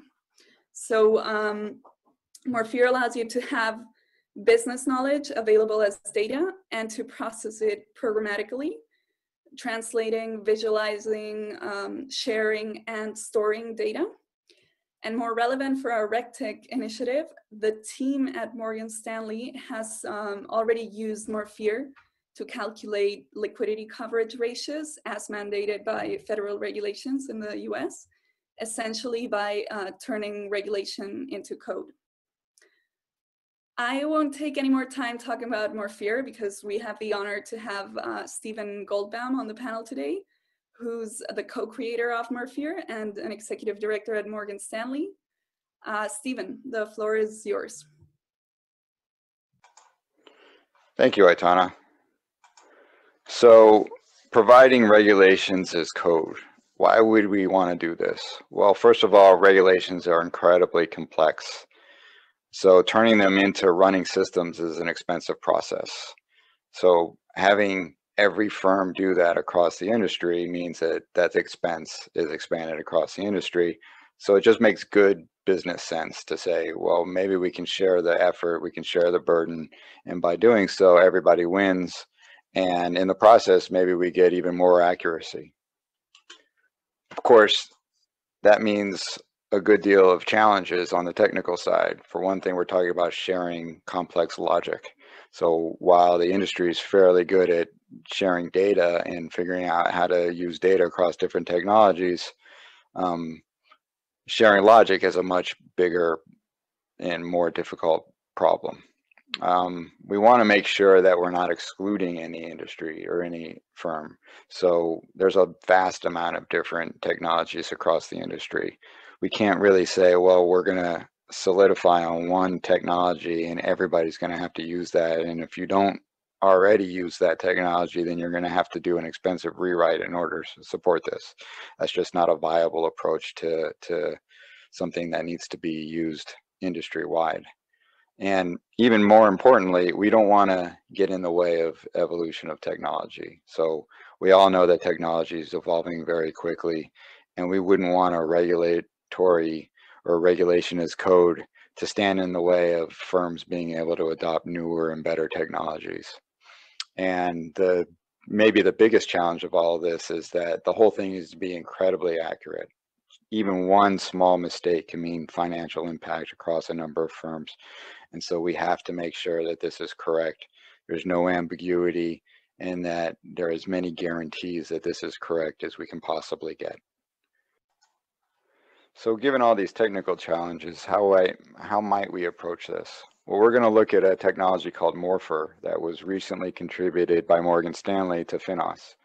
So the core of Morphir is all about defining a, a standard for translating business logic across technologies. And so what Morphir does is it provides a data structure called an intermediary representation that we can encode business logic in, and then a set of tools to process that business logic into different contexts. So some of those processors might do things like provide real-time documentation that that is always up to date or even interactive documentation that users can use to audit uh, results that they might think wonder how they got to that uh, similarly we might want to take that business logic and translate it into other programming languages so that it can be run in different execution contexts or we might take that idea even further. And if our firm has a, a, standard set of platforms, we could actually generate entire applications from the business logic that conforms to those platforms and regulations. And so when we think about coding regulations, that's exactly what we want to do. We want to be able to say, well, here's the business logic, it's coded up, and here's the tools to to either generate the the tools that exist or to customize those tools for our, our firm and our firm standards. And so you might ask, well, how do we code the regulations in the first place? Well, Morphir doesn't make any, any um, dictate any particular way of doing that. Uh, we do offer support right now for Elm, the Elm programming language. We do that because Elm is a very simple language. It's a pure language, meaning that it's it's there's no side effects. It, it, has to, the developer has to think about business logic and business logic only, and it provides a lot of guarantees in terms of the correctness of the models and making sure that uh, we don't have any errors. And as we mentioned, it's very important that we don't have any errors because that could have some serious financial impact. And so to get an idea of what this looks like in practice, we're going to look at something called the liquidity coverage ratio. And I'm scrolling through this just to show that right now it's provided in hundreds or thousands of pages of very dense prose. And so, you know, wow, imagine taking this and trying to turn that into a computer system when we're looking at something like page like 61,000 or something like that. You know, that that would be a daunting task uh, for anybody. So obviously, uh, if that were provided as code, we wouldn't have to do that.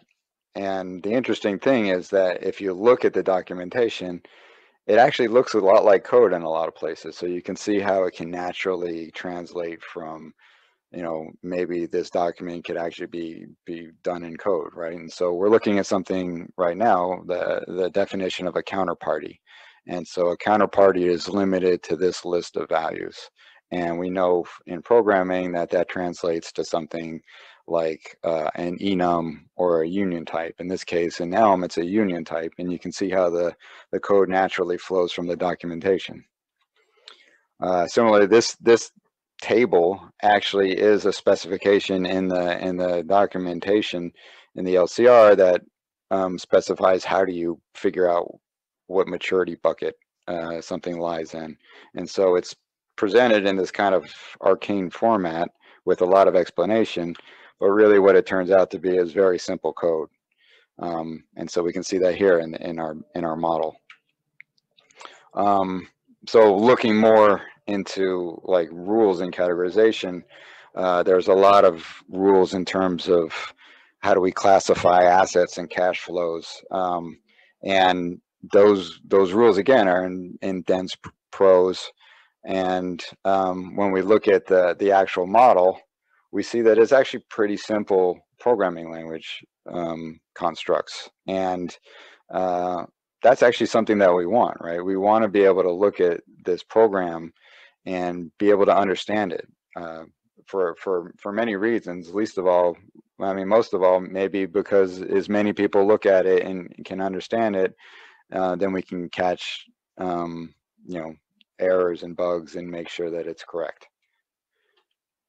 Uh, and finally, so if you go look up the LCR, the, probably the first thing you'll find is this this equation that the LCR is really a mathematical equation of the high quality liquid assets divided by the total net cash outflow. Um, and so the LCR provides this kind of calculation, math oriented calculation document as a supplement that we can use to create the same code, right? And we can see that it's very, very similar. In fact, if you go to this document and if you go to the uh, LCR example on morphir.examples, you'll see that it's basically one-to-one -one between the document and the code, which means that, you know, th this is the, the idea of providing a regulations code is really a, an achievable process. So at this point, you might say, well, that's great. You've got the the regulation in code. It's in elm. We don't run elm. So what are we going to do with this? Well that's where morphir comes in. So with morphir we have a set of tools. Uh, one of those tools parses elm into the morphir ir and as you recall the morphir ir is that common data format that all the business logic is is saved in. So you can see here's some of the concepts that we saw in, in the model before level one assets level two assets. Uh, this is the morphir ir and so now that we're in the Morphir IR, we can then generate from that IR into other languages or other platforms. And so we're looking at the Scala generated code from from essentially from what is Elm into Morphir and into Scala. And some of the other things that I mentioned that we generate are things like documentation. Um, we can support other languages. We've had generators in SQL before. Uh, so there's a range of things that we can do with this. And that's where Morphir helps out the industry by providing a set of tools that are that are already common, like the Scala generator, and then providing tools that different firms can use to customize the output to match their own platforms. And again, that's exactly what we're after. We don't want to make firms rewrite their platforms. We would rather provide the tools that take the regulation and allow them to adapt that regulation onto their existing systems rather than take the regulation and say, well, you've got to write, rewrite everything in order to, to make this work. So I'm going to finish up with, well, one of the things we mentioned is that the regulation has to be correct. And um, in this case, the LCR provides a number of examples to, to ensure that basically everybody's understanding this correctly. And examples are great because we all know we can turn those into unit tests. And so uh, in our example, that's exactly what we've done. Elm has unit testing capabilities, so we can use the capabilities of Elm to unit test our, our regulation as code.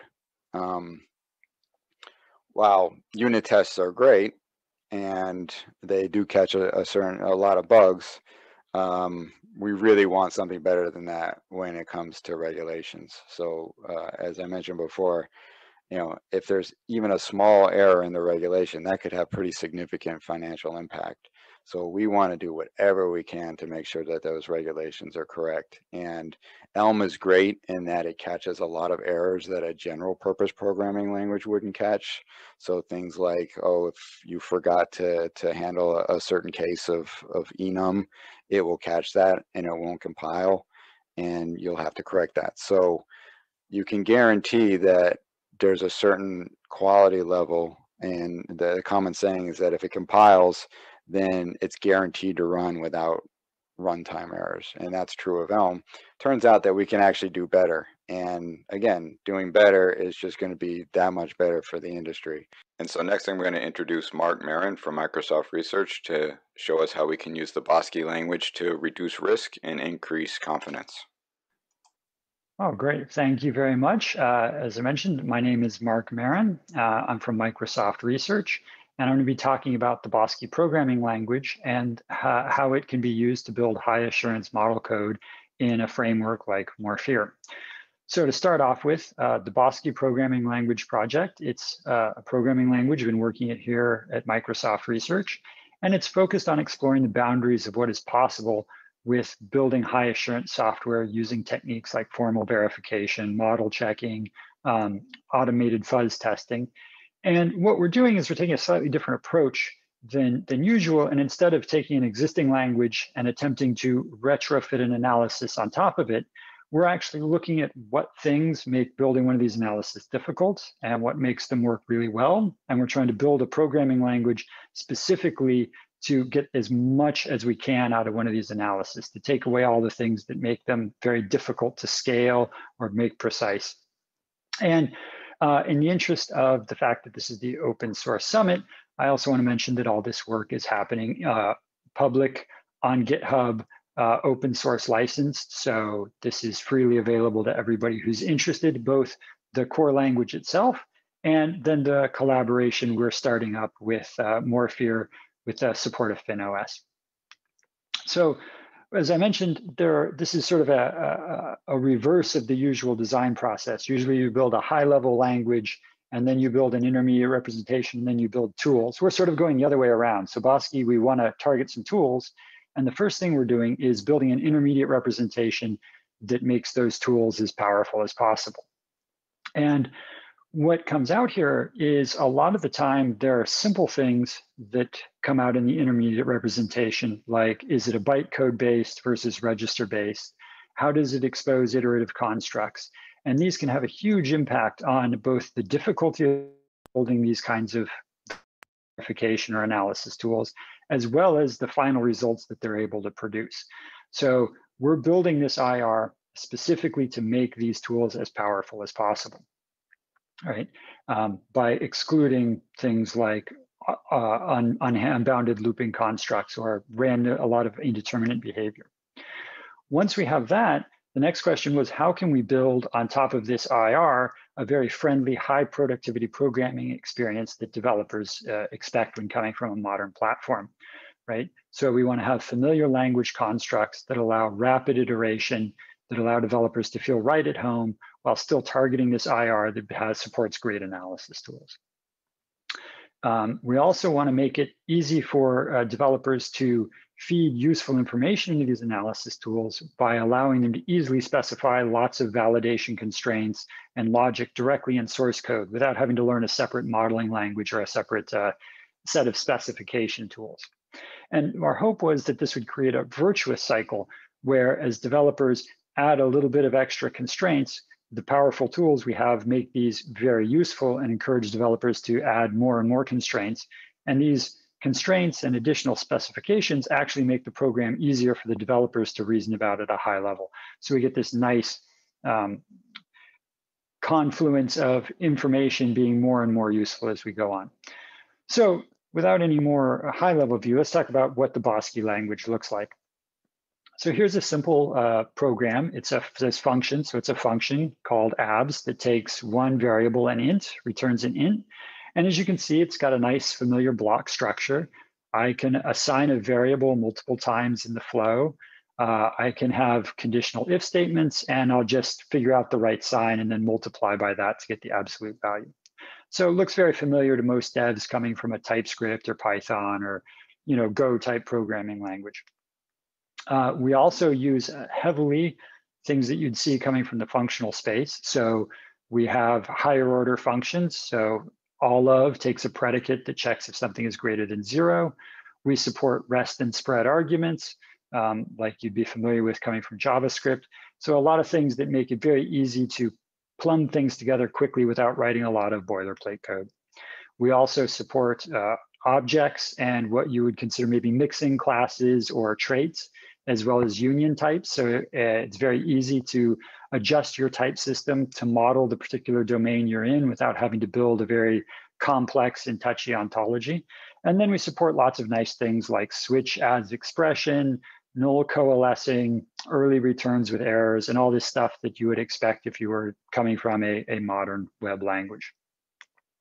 So let's go into a demo and show kind of what this looks like in terms of some of the modeling code that we discussed earlier and how the tooling experience works. Okay. So for this demo, I want to zoom in on a small portion of the code, the modeling code we were looking at uh, in Morphir written in Elm earlier, and look at how a portion of it might look if you wrote it in, in Bosque. And in particular, this chunk takes some inflows as a list and some outflows as a list, performs some computation on them, returns the result. And from the spec, we can actually know sort of a high level constraint that whatever the details of this computation are, that the return value should always be greater than or equal to zero. Now, what our tooling stack allows us to do, and the, the nuances of the Bosque language, we can actually take this code as written and translate it into a logical model in first order logic that can be consumed by a solver like a SAT modulo theory solver. Um, and I can show the code here as you can see, it's a little hairy. There's a lot of low level detail because of the exact logical encoding. But this actually captures every possible execution in a full precision of this code written here. And with that, we can go and run our solver and expand this and search for any possible input that would cause that assertion to fail. And as you can see, it found one where the list one contains the element zero, and the list two contains the element negative one. And so if the first list contains the element zero, uh, this sum will be zero. And if the second list contains the element negative one, this sum will be negative one, the result will be negative one, and uh, sure enough, our ensures clause will be violated. So this found a, a counterexample that we can go and use to debug our model code, uh, just like if we had found a failing test case. Now we can fix this by actually pinning the result amount to zero, uh, which is the correct fix for this bug. And now if we go back and run our tester and don't ask it to generate a model because now it's going to be correct, it will go, it will expand everything. It'll actually find a, a conflict set to prove that it is impossible for these inputs uh, with this computation to ever violate this output clause. So this is really exciting because it allows us to add some high level constraints or uh, verification conditions that we always want to hold to the code and be able to effectively check them and get more confidence and more assurance that our computations are satisfying the desired high level semantics. So now let's jump back to the slides and I'll show a little bit more about how things can be encoded, what types of things you can express in these assertions, and what features the language has for making this easy to get these concepts in the right place in your code. Great, so now that we've seen how the Bosque language in the tool chain allows you to insert uh, conditions and assertions to be checked and either fully verify them or symbolically generate a counterexample that shows a bug in your model, let's look a little bit more at the range of things that we allow you to specify. So for support, we wanted to make sure that it was very easy for developers to add these types of higher level semantic assertions and restrictions on what should be happening in the program uh, or their model. And so we wanted to introduce a bunch of constructs to make it very easy to insert these and not require a bunch of custom code to handle all of this. And we also wanted to avoid the common problem of having a separate modeling language or proof language from the programming language. So in Bosque, the language that you write the assertions in is exactly the same as the Bosque programming language. And anything you can write in Bosque code can be included in assertion and can be checked at runtime can be checked by the verifier, can be checked by the model checker, and can be checked by the tester. So this is all there and can be taken advantage of by all of the tooling. So we were very happy that we were able to make this completely transparent. We also have several places that you can add these assertions. So a common one is the pre and post condition, uh, as you saw in our example. And with all of these, we allow you to turn them on either always if you want to make sure that this condition always holds at runtime and will throw an error if it fails, even in release, or if you only want to have them turned on for, say, your debug builds, or you only want them there for use by the verifier. You can always, you can set the flags that enable or disable all of this. We also have data invariants, which are very powerful. So if you look at this, we have an entity or a class uh, called order. It has three fields, name, quantity, and price. And the invariant guarantees that anytime one of these is constructed, the name will always be non-empty and the price will always be greater than or equal to zero. So that allows you to count on this invariant anytime you're using one of these types. And it prevents you from accidentally creating an invalid uh, object of this type. Now, interestingly, you'll notice quantity is not included in this invariant, and we would assume quantity always has to be greater than or equal to zero. But we wanted to make it as easy as possible to sort of have a lot of common conditions expressed in the type system as well. We'll talk more about this later, but this is one example where the quantity is declared as a natural number. So that actually guarantees that it's greater than or equal to zero, and we don't have to wait until we get to the verifier stage. We can actually check and catch errors around this in the type system. Finally, we support ad hoc uh, checks and asserts that you can put anywhere in your code for any condition that you want to have verified or validated. And again, here this shows a slightly more complicated bit of code stuck in there where we're checking if uh, the name exists in a collection of existing orders before doing something, right? So I want to emphasize that, again, the assertion language is arbitrary Bosque code, not just simple inequalities or uh, order constraints. So uh, as I mentioned, we have more examples of these numeric types, which are very common things you want to validate. And these are also known as unit types, and we've borrowed them from other languages. But what it allows you to do is say, I have a specific uh, numeric type, in this case, decimal, and I want to make a derived type called US dollars or decimals, and, or sorry, percents. And I want these to be distinct types with distinct operations, and I want the type checker to be aware of that. So for example, if I had a variable payment that was defined to be of type US dollars, and I attempt to assign an arbitrary number to it, that's a type error. Now I can create a literal US dollar amount and assign that to it, and that's perfectly acceptable. We also, through operator overloading, allow you to build um, both overload custom built-in operators and define your own operators that allow you to do type safe operations on these values. So for example, multiplication it doesn't make sense to multiply two US dollar amounts together, right? That's a type error. But if you want to take 25% of an existing payment, this is a totally type safe computation, and will succeed and will produce the expected type of US dollars. So this is a really powerful feature that allows us to easily create custom numeric types that behave in an absolutely type safe way. We can do verification on, we can use the type checker on, and it also makes your code much more understandable and auditable from a human perspective. Going further with this, um, we've introduced a new concept uh, previously undeveloped in Bosque called type strings. And we support two flavors of this. One of them is basically regex validated strings. So for example, I can declare a type called zip code, which takes five digits with an optional trailing four.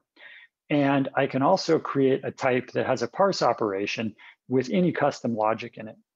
Now using these, I can say, I can declare a variable, variable string, uh, string of zip code. And if I attempt to sign it an arbitrary string okay, this will be a type error because okay is a string, but I wanted a type string of zip code. I can say, okay, I'm going to declare some string called okay, a zip code string, but this will fail because it doesn't match the regex. In fact, the only one of these assignments that will be type safe and allowed by the compiler is the one where that zip code string actually is a valid formatted zip code. So this allows us to add a lot of rich semantic information to many interfaces that today would be typed as it takes a string, a string, and a string, and now it's a string that is a username, a string that is a password, a string that is a resource requested, and we can actually expose that to the type checker, making the code more understandable by the human, but also lifting this information so that it's available for the verifier to do a much better job with.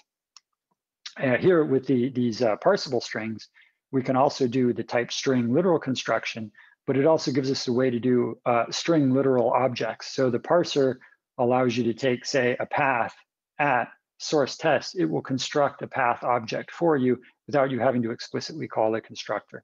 So it allows you to make this very transparent about what are literal object constructions without having to manually expand the, the constructor yourself. So uh, there's a lot more that we're doing in Bosque, both from the programming language feature side and from the tooling side, but I just wanted to give you a flavor of what's going on there um, and why we're excited and think this is really a new paradigm in the way the programming languages are built and software is developed. Like in particular, this co-design principle, um, the desire to make the code uh, transparent and easy to reason about, both for automated purposes, but also that really helps humans as well with things like these unit types and type strings. And the way it builds a virtuous cycle between adding more and more value to these high level intentional semantic assertions by having the tools that can leverage them and then feed that information back to the developer. Uh, we're also really excited here working with Morphir and FinOS to sort of build on the polyglot capabilities that are in Morphir that don't restrict uh, us to having to build a full runtime ourselves. We can benefit a lot from all this framework that Morphir has always done. And we think it's really exciting to be able to work in this FinOS space where these high assurance models are very valuable um, and, and give us a chance to show the potential for these leading edge tooling and analysis scenarios. So I think that uh, concludes the set of things that I wanted to discuss. So I'll pass it back uh, to the next section. Thank you. Thanks so much, Stephen and Mark. This was great. I really appreciate you taking time to be with us today. And thanks everyone for joining us today to, to hear about this panel.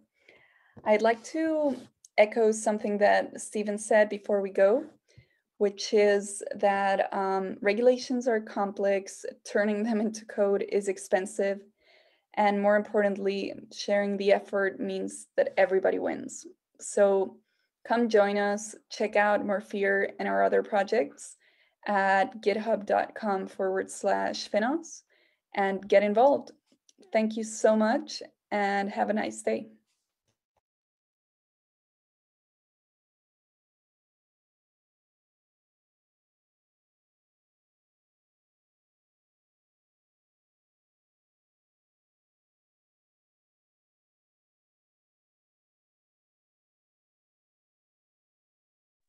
There you go. I'm double muted. Don't you love it? Um, we, we do have uh, Stephen and Mark on who can answer any questions from um, from the, the attendees if you if there's anything in particular you'd like to to ask. I, mean, I, I do have uh, I, Stephen and, and Mark, do you want to say hello and put your video on and make sure that everybody can see you? Yeah. Hello. Brilliant. Thank you. Um, so I do have a question, a first question while, while we give everybody else a chance to, to come up with theirs. Uh, Stephen, can you talk a little bit? We just heard from Legend um, just before this, and and and obviously Rob uh, introduced and, and I identified that there were some synergies. Can you talk about any conversations that you've had about how the the two uh, different systems might be able to interact in in the future? Yeah, I think um, one of the things we're really looking at is that Legend is a great platform for modeling data and data interaction and transformation. Um, and it's it's got a, a, a, you know it's a fair amount of logic as well in terms of calculations and transformations. Uh, Morphir is very focused on the logic modeling aspect, and from logic modeling, you you need data modeling as well. Um, so it's it's certainly dependent on having good data models. So if you take the two together, I think you've got a, a very powerful um, potential platform. And so that's what we're we've been looking at. I think, um, yeah, I mean, I, I think that's just a it's a great example of these two innovations um, from what would normally be companies that don't um, work on innovations together. We can actually look at these together through the FinOS program, um, and it just makes a lot of sense. Great, thank you. Um, I have another one for you. Can you talk a little bit about how Morphir is used within Morgan Stanley? I mean, clearly there's the potential around RegTech um, and, uh, and maybe some of your decisions around choosing to open source, um, you know, that code that was built in-house. Yeah, I mean, some of the, the things that we, we focus on are uh, increasing development efficiency. So uh, the idea is that you know, we all as developers like to think, or as application developers like to think our jobs are converting business problems into computer problems. Um, and then we realize that there's all this other stuff that we need to do in terms of, you know, regulatory requirements and, and, you know, working with frameworks and complex things like concurrency, et cetera. Um, and so some of the things that we focus on are, are being able to holistically capture calculations and, and rules and then quickly turn that into running systems through code generation. Um, and i think that's where that's where the uh, the opportunity here lies. And when you look at something like bosque that with all those advanced um, capabilities then we can look at a, at a language and choose um, a language based on the capabilities and, and what we want them to do. Um, and then have those languages target the the morphir uh, intermediary language and then use that to then generate running systems. And so you know i think uh, from a business perspective uh, we we tend to look at it in terms of calculations um, rules like you know categorization and stuff like that and being able to look at a system holistically which is often difficult when you have logic peppered throughout the system absolutely. Um, and uh, Mark, the so you're in the research area of Microsoft, and and if if people wanted to get involved with the Bosque language, um, how do they you know how do they go about doing that? You, you, provided links before, and and what what's what are the areas of, of future development? Um, maybe building on what you touched on earlier.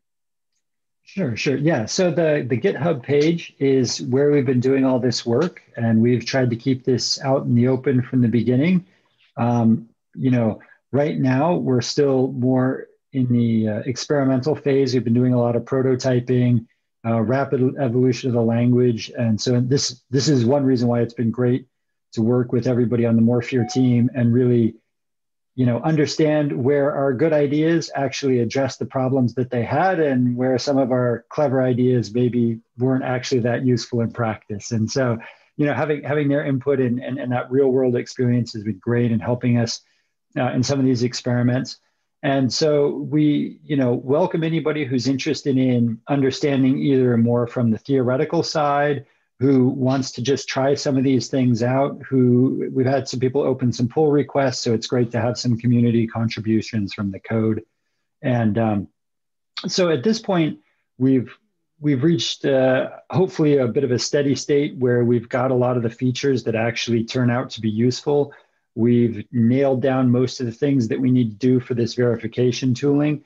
And we're really trying to step it up and get to the point where we can integrate effectively with Morphir and start providing some of the, the, the value that we'd like to the overall project.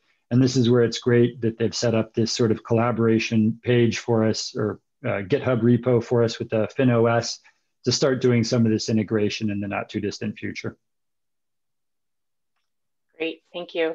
Um, we do have a, a, question that's just come in. Um, what compiler does Bosque use? And can you enforce catch specific regulations at compile time without being explicit? Uh, so can you catch specific regulations with WF? Well, let me start at the beginning. So um, the compiler we use, I mean, that's been part of the language development process. We converted into this intermediate representation, which today we just compile to C++ for easy interop with everything. Uh, this is one of the great things about Morphir is we wanted to basically live in this polyglot language environment that sort of dominates modern development environments. So if we're able to plug into their IR, we automatically play nicely with everybody else.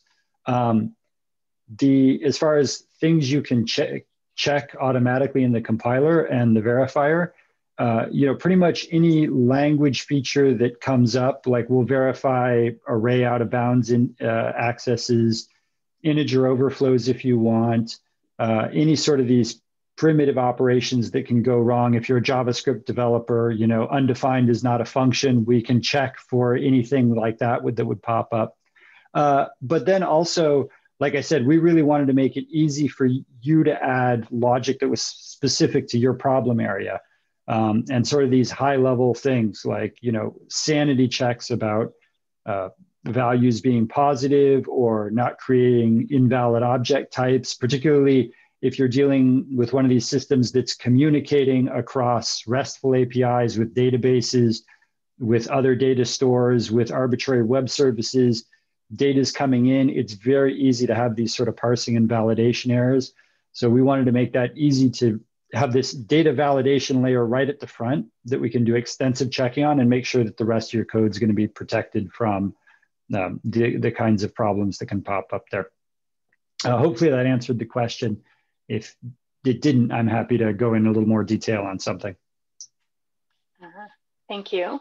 Um, it's not as easy as you'd potentially like to, to enable um, attendees to speak, but there's, uh, so if there's, oh, that was great. so, so thank you. Um, another question, is Bosque supported through Visual Studio Code? Uh, that is one of our to-do items. We have a, a basic add-in that gives you syntax highlighting support.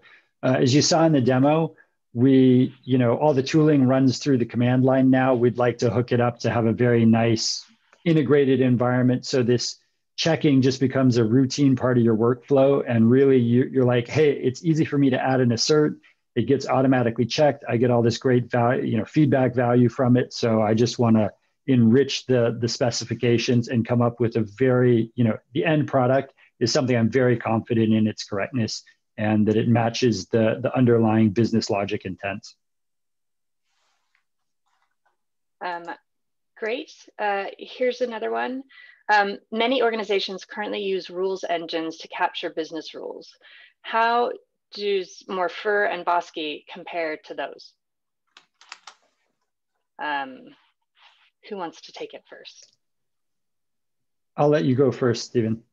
Okay, yeah, I'll go first. So um, I think one aspect of rules engines is that they capture individual rules and less so holistic rules. Um, and I think you know rules engines are, are really geared at giving users a kind of access to to creating rules and then kind of running them undeterministically, um, which is very different than than you would find in say like a regulation where it's very precise and you, you can't you can't really run it like that. Um, and that's where the developer provides a lot of value. So that's one big aspect. And then I think the other big aspect of rules engines is that um, they they tend to dictate the runtime environment. So they, they control the rule creation and then the rule execution.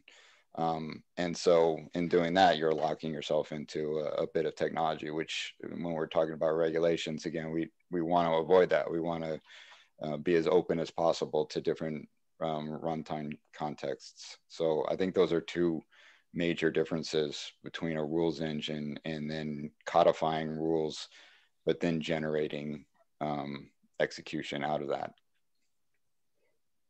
Yeah, and I think I want to echo this, you know, a rules engine or even codified rules, you have each rule written independently, and then you hope that the, all of those implementations of the individual rules ensure that the intended specification and behavior of the overall system is correct.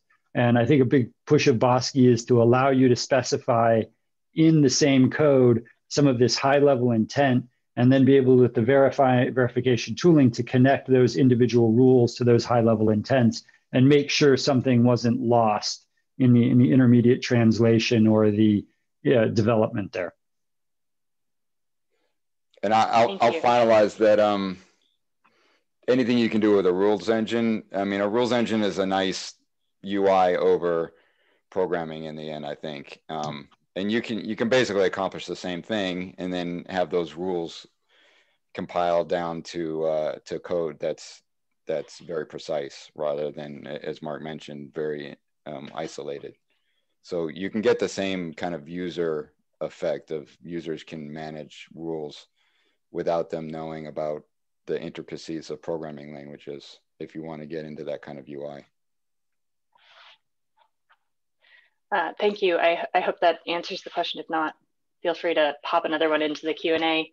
Um, there's another another question feeding on a little bit from, from some of the earlier conversation.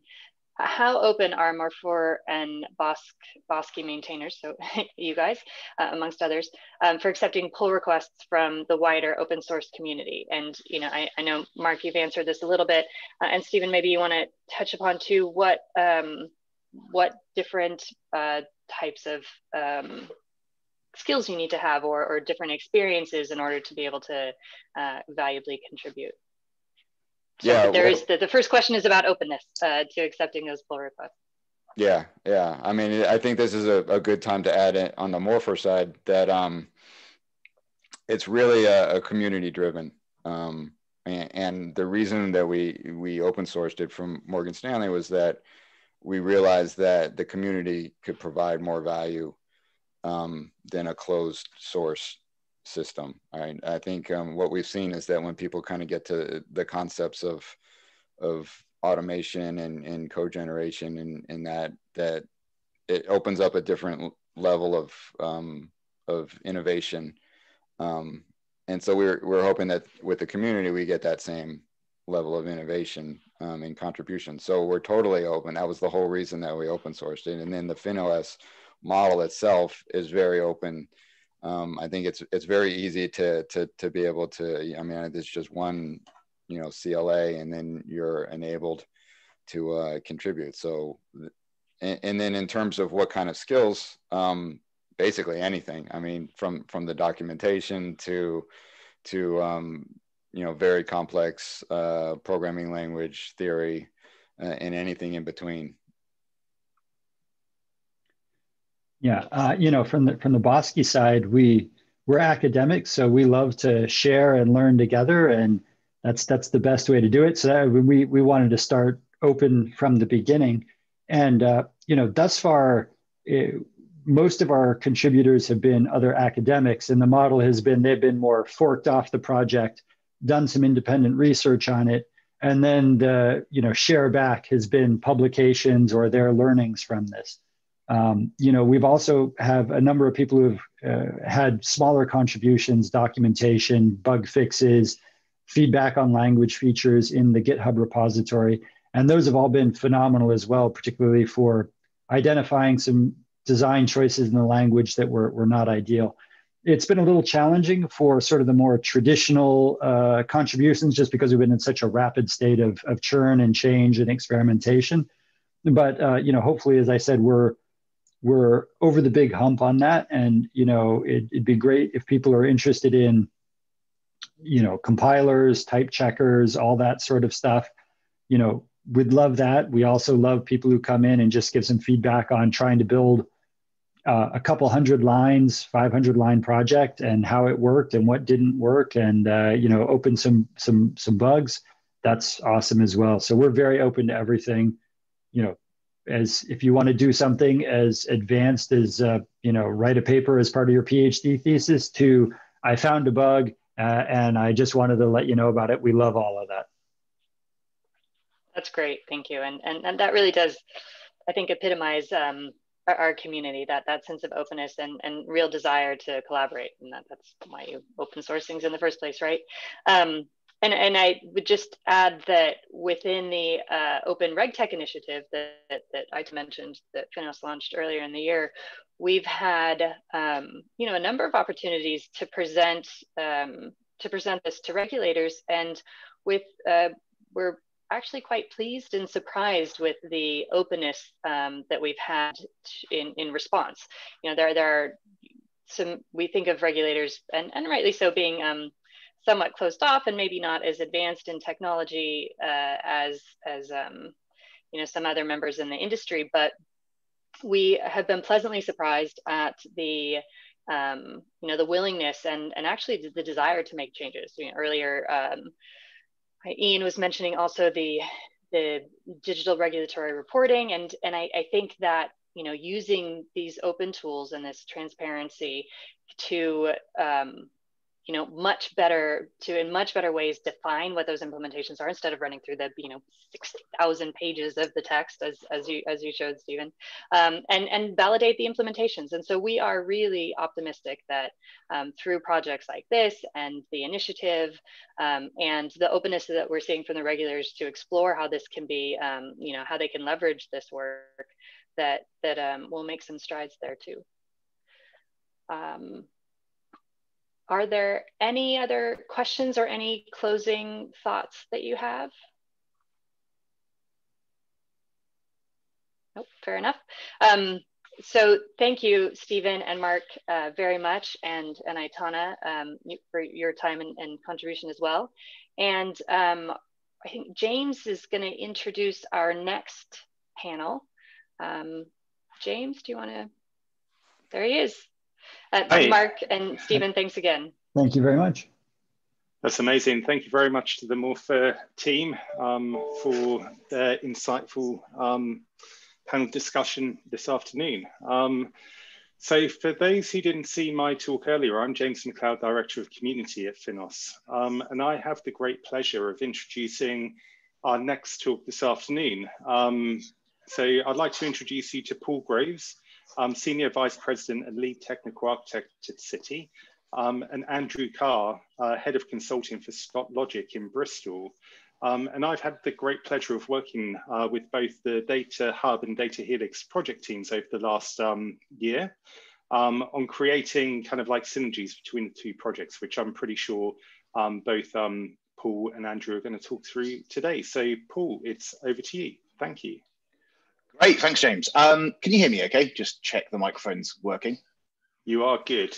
Fantastic. Um, great. So yes, uh, so hi, I'm Paul Groves. Uh, I work over at Citigroup as an architect in the client onboarding space. And um, throw it over to Andrew. You can say hello. Hello, so I'm Andrew Carr. I'm head of consultancy for the Bristol Scott Logic office. Awesome, cool. So, um, oh, let me get that working. Right, so um, Data Hub, uh, that was a contribution that Citigroup we made as our first contribution to Finos earlier in the year. Um, very briefly, uh, Data Hub, it's a synthetic data generator. We support two modes of operating, which is you can kind of handcraft your own rules, or you can use production, you can use like existing data sets. Data Hub can analyze it, produce like a statistical model out of it, and then it can use that for um, synthetic generation. To try and preserve privacy. Um, so kind of support these kind of two things. Um, now Data Hub, it's largely what we've done there is we've brought lots to, uh, together lots of different kind of open source um, existing libraries together and tried to make a very you know seamless, consistent interface across them. So there's lots and lots of tooling out there, but the problem was there's a lot of time you had to spend to try and bootstrap these projects up. And so we've decided to give it all a bit of a consistent interface, and then we've done a bit of our own work as well on top of that as well.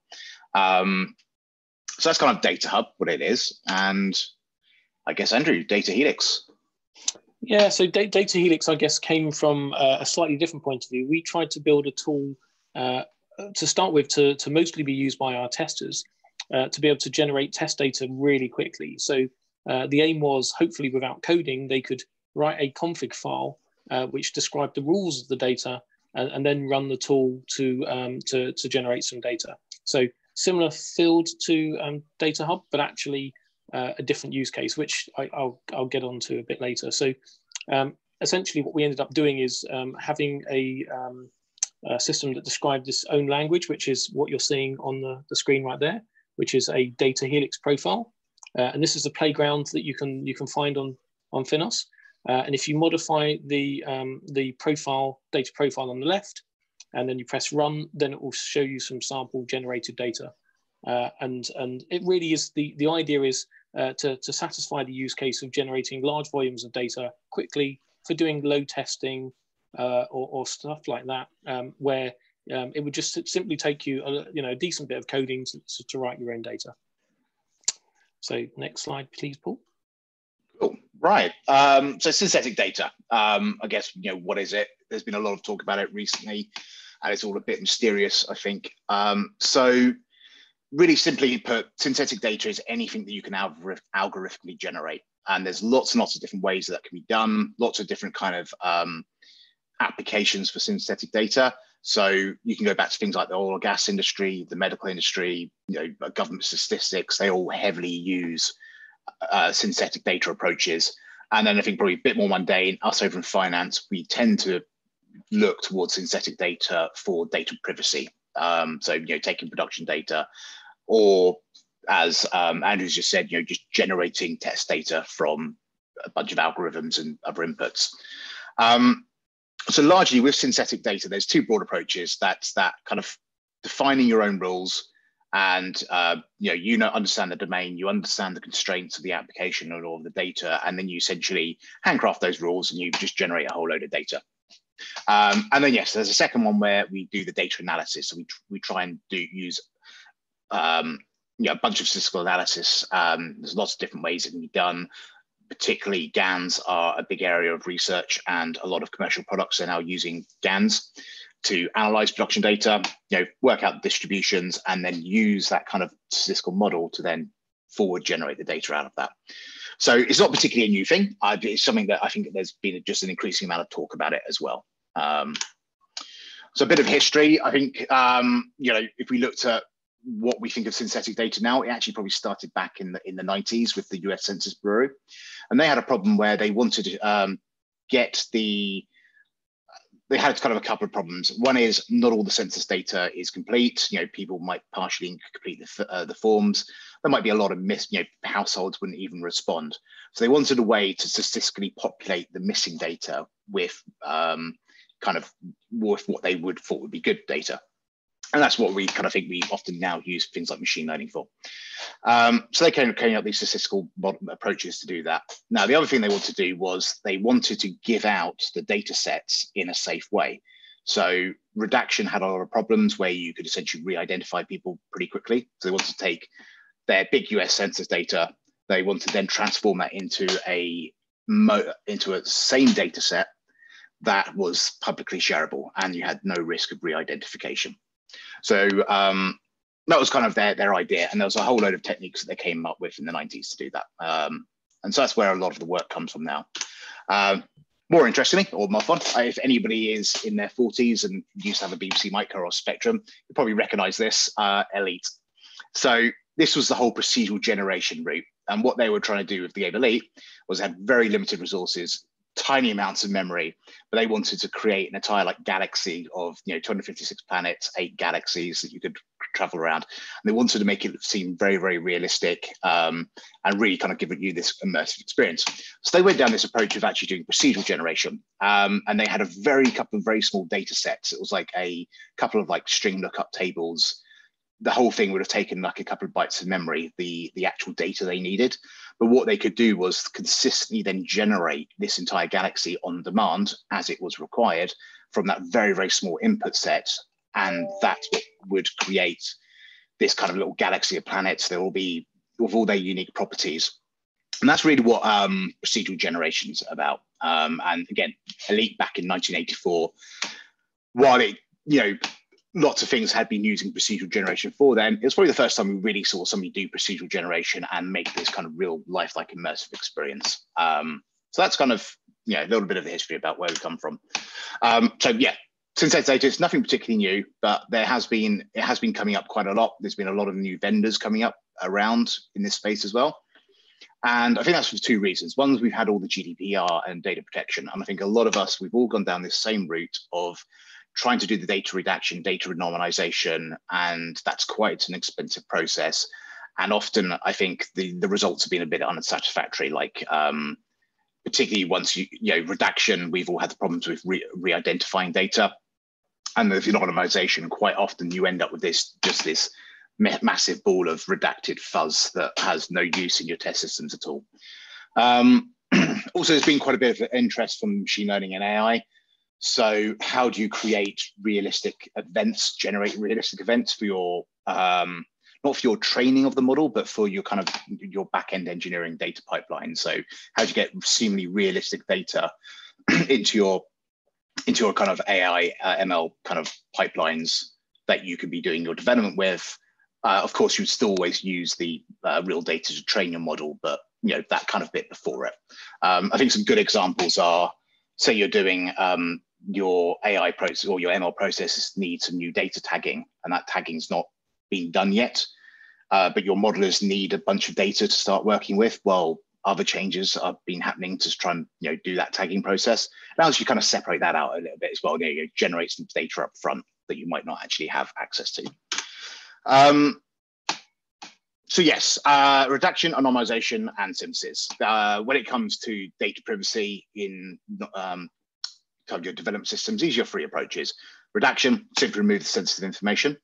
Uh, so, you know, customer names, um, you know, social security numbers, all those usual bits. Anonymization is a fuller process where you're not just redacting, but you're you've got to make sure that there's no way to re-identify um, out of that redacted data set back to a, a, real person. And that's actually quite a complicated process.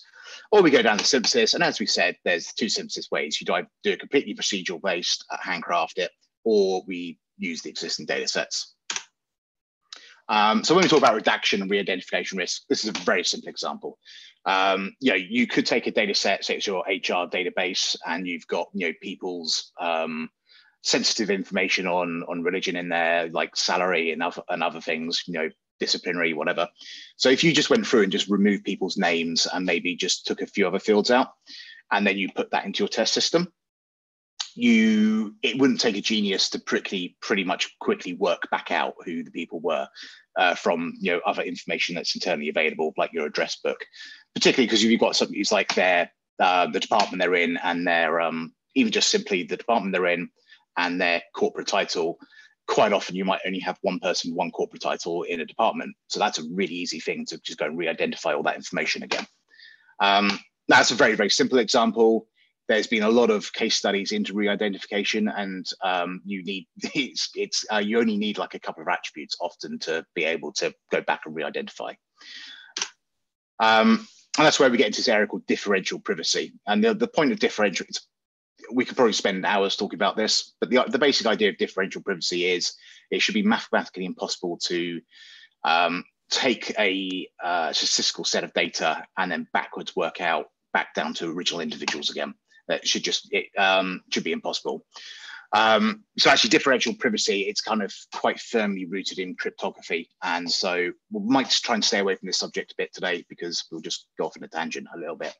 But um, differential privacy, if you're doing data analysis to then use do synthetic generation, it's, it's kind of quite a key thing in there. It's very important. Um, so how are we doing for time? Uh, yeah, so if you look at like a typical kind of synthetic data flow, you'll start with your production. No, you've got kind of two bits. You've got the stuff that you need to do in your production environment, and then the stuff that happens in your non-production environment. So you might start with, you know, in your production environment, you need to get your data out. So you query your data, you kind of do a basic bit of redaction, make sure the PI attributes are kind of removed, and then you'll do a bunch of data analysis on that, and then produce some kind of statistical model, like a your differential privacy file. And that's normally big aggregate, a big aggregation and a bunch of statistics about the data it's seen, you know, relationships observed, uh, correlations and whatnot. Um, so now you've got that file and it should be cleanable PII. You shouldn't be able to go back with that file and re-identify anybody. It's just a big statistical model of that data. So what we can do is we can take that, then we can do synthetic processing over the top of it to then generate back at, generate back out all the row level information. And then we can add back in PII like attributes. So not the real PII attributes, um, like somebody's real name, but we can then you know, generate fake name, fake addresses, and fill in all those blanks that we, we've those, those bits we redacted out as well. And then we can write that to a prod database. So hopefully what we've got then is in our non-production database, we should have a whole load of row level data that looks like the real data, but it's no way to ever, it feels like the real data. It feels realistic. It feels, you know, immersive um, and whatnot. Um, and it should be decent quality and it should obey all the rules that were observed in the production data. So that's kind of, that's the, if you've got an existing data set available. Or we have the opposite route, which is there's no data available, or you kind of don't want to use it and you just go for straight procedural generation, which is fill up developer handcraft a bunch of rules, you produce a whole load of data, you put it in your data, data store. So it's quite simple. But obviously, there's more time consuming to do this. Your, develop, your person who's authoring those rules is going to have to have a much better understanding of the data, the constraints, the rules of the data, and we'll have to have much more innate knowledge about it to be able to do that. So cool. I think that's a hopefully a very brief uh, view of synthetic data. Um, I guess over to you, Andrew. Cool. Yeah. So um, I'm going to talk to you a little bit about uh, the typical use cases uh, for synthetic data, and I guess uh, how they impact procedural generation. So as Paul mentioned, uh, there are a few different approaches. Obviously, taking uh, normal data and then anonymizing and redacting it has its challenges. Uh, I think I'm not sure, but I suspect Paul's probably going to chat about that later.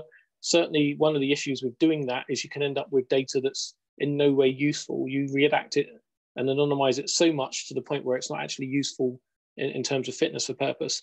And I do think when um, I guess Paul and I have found certainly uh, being involved with this FINOS data generation, we've ended up having lots of conversations with people about uh, their use cases that they're using synthetic data for and the more you talk, you begin to realize that actually the solutions for synthetic data, it really depends upon the use case that you're trying to solve. So, for example, um, if you're looking for kind of lower volume, highly accurate uh, data to test your functionality, you're probably going to go for a very different solution than different the other use cases, which are more like your kind of high volume, reasonably shaped data and reasonable accuracy, uh, which you might be just doing something to do a, like a load test or if you're actually using some high volume data that you want it to be statistically accurately shaped uh, because you're going to be using it for uh, modeling, uh, machine learning, analytics, etc., etc. Paul, can you go to the, the next slide, please? So I guess depending on which case um, you're considering, um, I'm going to go through a, a simple case uh, and, and demonstrate why the rules-based approach is really good if you're going for I guess, the kind of load based testing where you want the data to look reasonable. It doesn't have to be that accurate, uh, but you want to generate the, the data really quickly. And then, uh, you know, a tool like the Data Helix, and there's, there's, a, there's a number of them out there, um, where you can just use a config file to, to modify the rules can be a good approach for that. But I guess it's not such a good approach uh, when the data you want needs to be highly accurate and you need it either for, uh, I guess, functional testing or you need it to be, you know, statistically valid shape where you're probably going to want to go down a different route. Cool, if you can hit the next slide. So let's let's consider a, a really simple use case.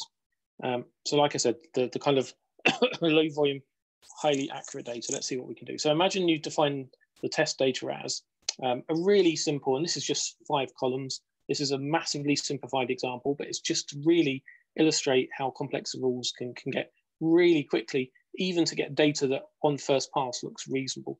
So if we have some sort of trade ID, a stock ID, uh, whether that's a RIC code or CUSIP or, or, or ISIN or whatever, uh, a stock name, uh, some sort of price. And again, I'm simplifying it so we're not, not including currency and, and all the things that you, you typically do actually need to include to be useful, uh, and, and the trade date time. So if we hit the next slide.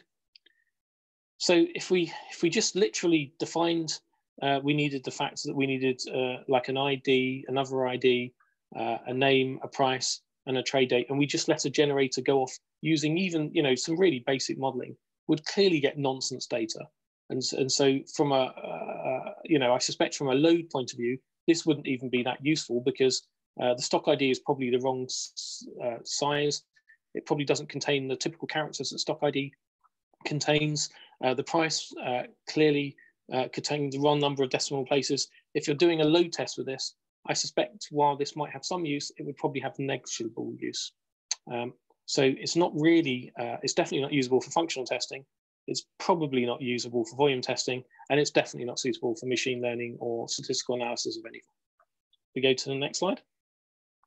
So now if we want to get a little bit more specific, um, we can certainly go for uh, enumerations, for example, in the stock ID, and then go for enumerations in the stock name. And then we define a little bit more uh, the range that we want the price. Again, these could all be rules. The language we use uh, is, I guess, immaterial. Um, and if we put a little bit more rules around the date timers again, we say it's, I don't know, greater than a week ago or, or less than today.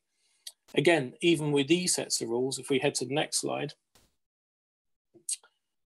we can see that while the data looks on first pass a little bit more sensible, it doesn't take us more than a second to quickly realize that the stock ID and the stock name don't match, which, which quickly brings you to the conclusion that you really need to do dependencies between the columns. So for any row of data, if uh, one of the columns is one value, you probably want to narrow down uh, the field of, of, values of the other columns.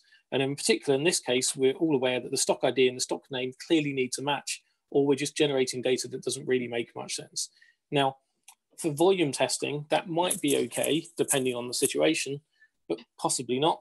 But for functional testing, that's clearly not going to be useful. And it's definitely, again, not going to be useful for machine learning or any form of statistical analysis.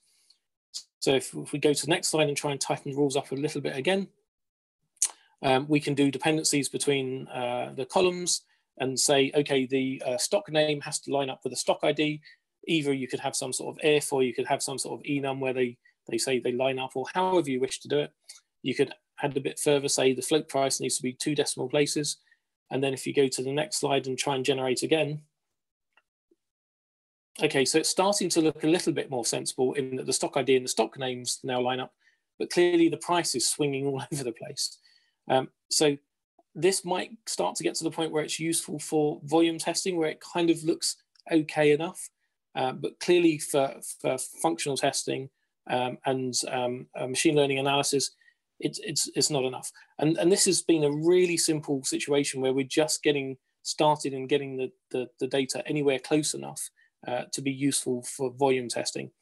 Um, we did, uh, I guess, for, for projects I've been on just involved with recently, we were looking at a situation where um, we had a table of, of trades where the trades had 140 columns. And uh, in terms of the rules-based approach, you needed about 3,000 rules to get the data to look accurate enough to do volume testing on. And even then, it wasn't accurate enough, I guess, to do functional testing. So I guess I hope I've demonstrated, even in a small way, how quickly these rules can build up. Um, but it definitely gets to the point very, very quickly where you need a very large volume of rules um, uh, to get accurate. And, and, and going forward, if we head to the next slide, um, if we if we start to look for uh, a more complex situation than trade, so we've gone for the a really simple situation. If you consider something like a bank account, uh, generating data for that, you can clearly see that you're going to need, start to need dependencies between the rows as well, and also uh, some sort of state, because you're going to typically expect salary to come out of uh, the same day every month.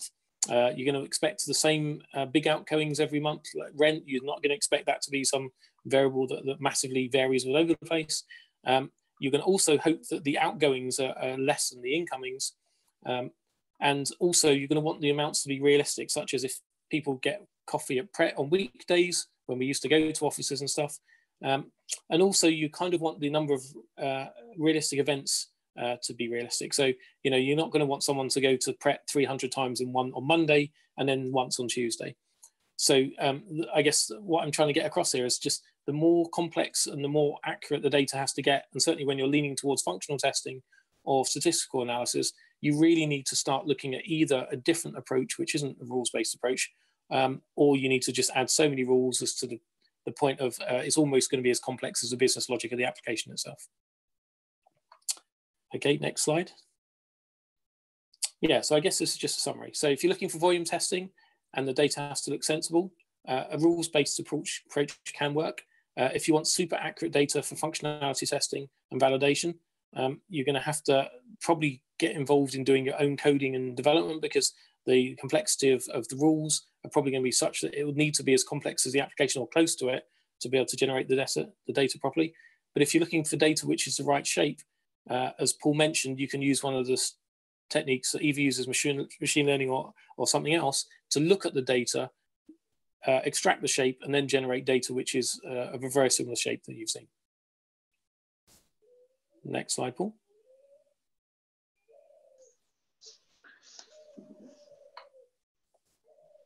I think this is my slide, actually. Sorry, uh, so um, couple of examples of some of the things that we've been using synthetic for. So uh, particularly in client onboarding, how do we generate kind of realistic onboarding events? There's, you know, it's very heavily workflow based. So there's a lot of um, complexity in those workflows. Um, you know, only certain steps in workflows occur with you know particular client types and the rest. So yeah, that's one big thing that we kind of we started this, this problem on. Um, things like generation risk in PNL with realistic sets of values. So that's just kind of big volume data. The constraints of the data is relatively simple. Um, then we also have things like synthetically generating portfolios of trades. So um, you know, just creating portfolios of swaps, for example, um, credit card payments between merchant card holders, and um, one of the main reasons we've also seen this is enabling easier relationships with vendors and cloud providers when we're trying to you know, have that exploratory first part before all the NDAs get signed and you know all that complicated stuff. Um, like you know, if we've got a truly public data set which kind of describes our problem, you know, that's much easier to hand over. Um, so that's kind of the kind of some of the examples uh, that we've been kind of looking at and using. And on to the next slide. Um, so onto Data Hub itself, where hopefully we'll give a bit of a demo and nothing will break. Um, so Data Hub, relatively, it's a Python library. Um, now that's to say, we're heavily based on things like data pandas, data frames. So what we do with Data Hub is we just return back data frames back to you.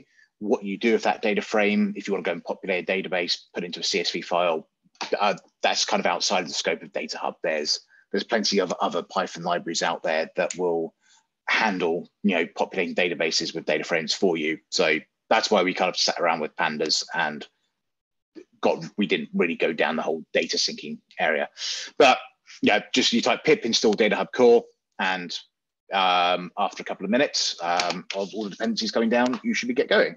So I won't do that now because it will it will take a couple of minutes. We'll use a an existing thing I've just set up. So first of all, just going to quickly show you how to boost um, you know bootstrap a project up and handcraft a couple of rules, generate, say, some client data. So if I tab out and over to here, so take that out first. So move that out of the way. So what's going on here? Let me maximize that up. So we're simply called, we've just imported Data Hub here.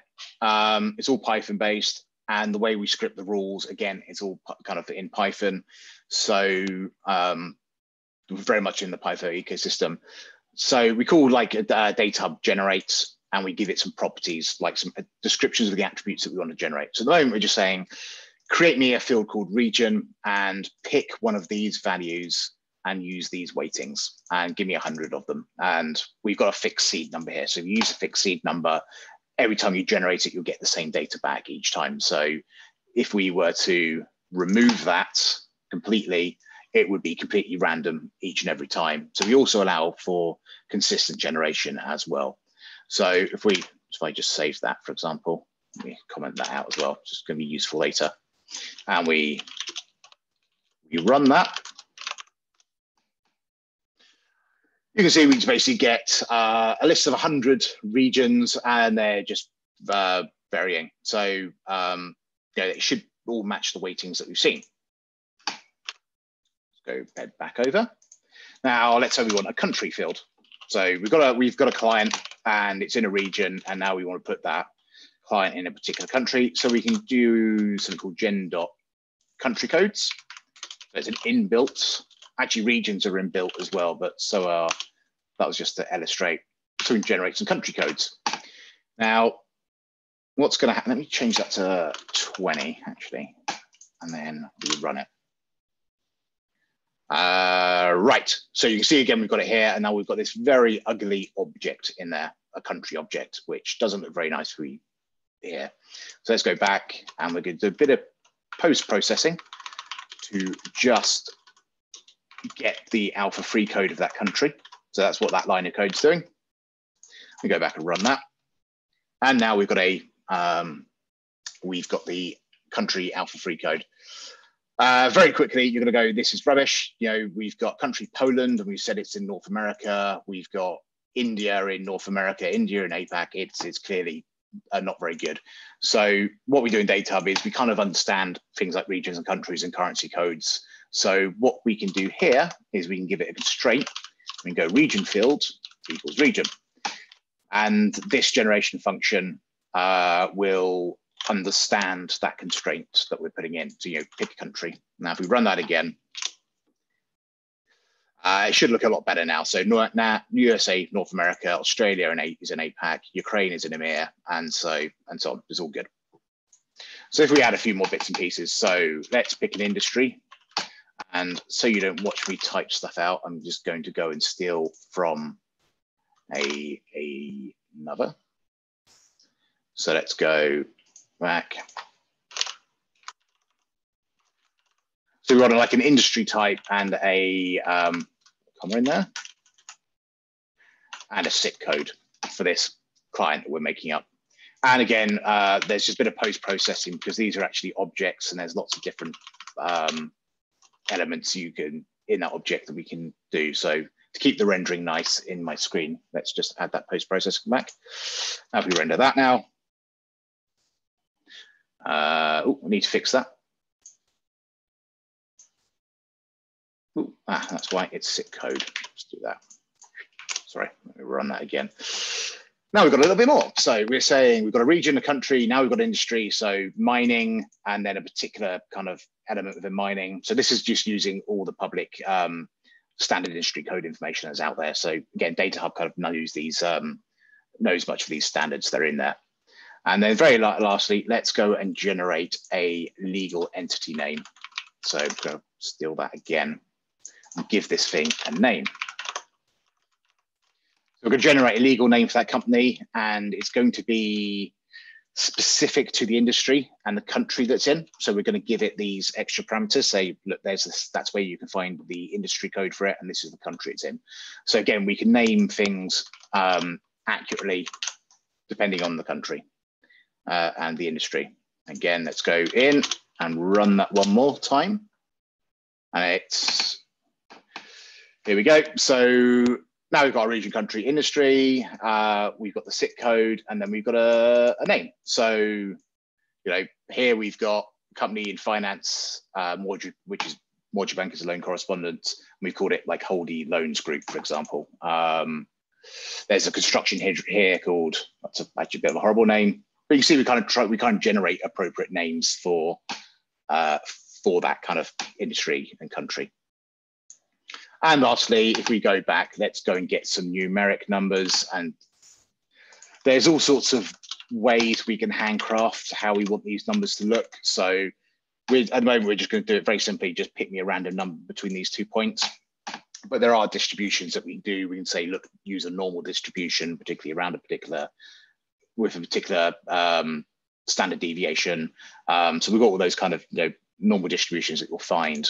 Um, so assets under management and estimated value. Um, let's just do that, example. and run it again. And now you can see we've got the AUM and EV that I've done over here, just random, randomly generated. So that's kind of how we can quickly handcraft rules together and get very quickly a reasonable looking data set. Um, now, if we head back over to the slides, the other one was like, well, how do we do analysis of data? So I'm not going to run this live because it can be a little bit slow, and I think probably got better things at the time than watching a, an hour clock tick, uh, hourglass tick by. So what we can do here is this very first line that you're seeing up here called analyze.run. So um, we're going to give it an input data set or CSV file, and we're going to ask it to output like a model file that it's done. And then we tell it a little bit about the data set, the bits of it that we're interested in. So uh, essentially, what are the discrete values and what are the continuous values? So we say the discrete values are region, country, SIC code, industry, uh, and so on. And then we say the continuous values in there are AUM and EV and there's a bunch of other bits and pieces that we can do. There's different kinds of analysis modules. So there's one which is called the fast bucketing model, which um, runs very, very quickly um, and generates data, I would say, of reasonable quality. Um, we can go into that maybe later, we can go into how that works if people are interested. Um, but there's also things like we integrate CTGAN. Um, there's another one um, called SDV, uh, and there's a couple other models as well. So there's another one that uses, uses like linear regression, for example. Um, so there's different kind of models that we can plug into this to do the analysis. And then they all basically output this a file. What we then can do is we can then write another function, which is then generate the data. So we're going to call the gen.generate from model. We're going to set it what the model is. So we call this, we're going to use this fast bucket model. And we are going to um, supply this model file.json in there.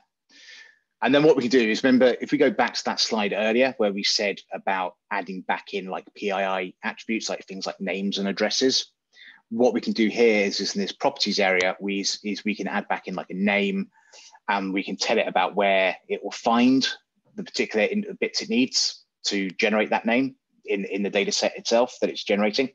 And then we can basically redecorate the data with these PII attributes that should have been stripped out. So if you notice over in this analyze.run, we're not, we don't put any kind of, we only put the elements in that we actually want to do the analysis on, but we want to fit to the distributions. We don't put things like um, people's names in there, social security numbers, bank account numbers, all of that you add back in afterwards. So if we go, if we remember back in that earlier picture, this generate model function, that's what we'll be running on against our production data. And then this second function generate, that's what we'll be running in our development environment to actually produce the data and then do something with it. And I said, you end up with a pandas data frame. So you can easily just call data frame.toCSV. And there's plenty of like things like for populating Oracle databases with data frames in there as well. So that's pretty much what Data Hub does. Um, it's a pretty pluggable model. Uh, we're constantly trying to generate more and more models and refine these models. Um, now, I went through the differential privacy thing at the moment. Uh, we haven't signed it off yet as some of these models has been able to do full differential privacy. Getting kind of close, but there's a, a lot of legwork that we need to still do just to be able to actually make that claim um, that, that it's done. So that's something that we're trying to really aim, aim to getting done. Um, also, Data Hub's incredibly easy to extend. It's just Python.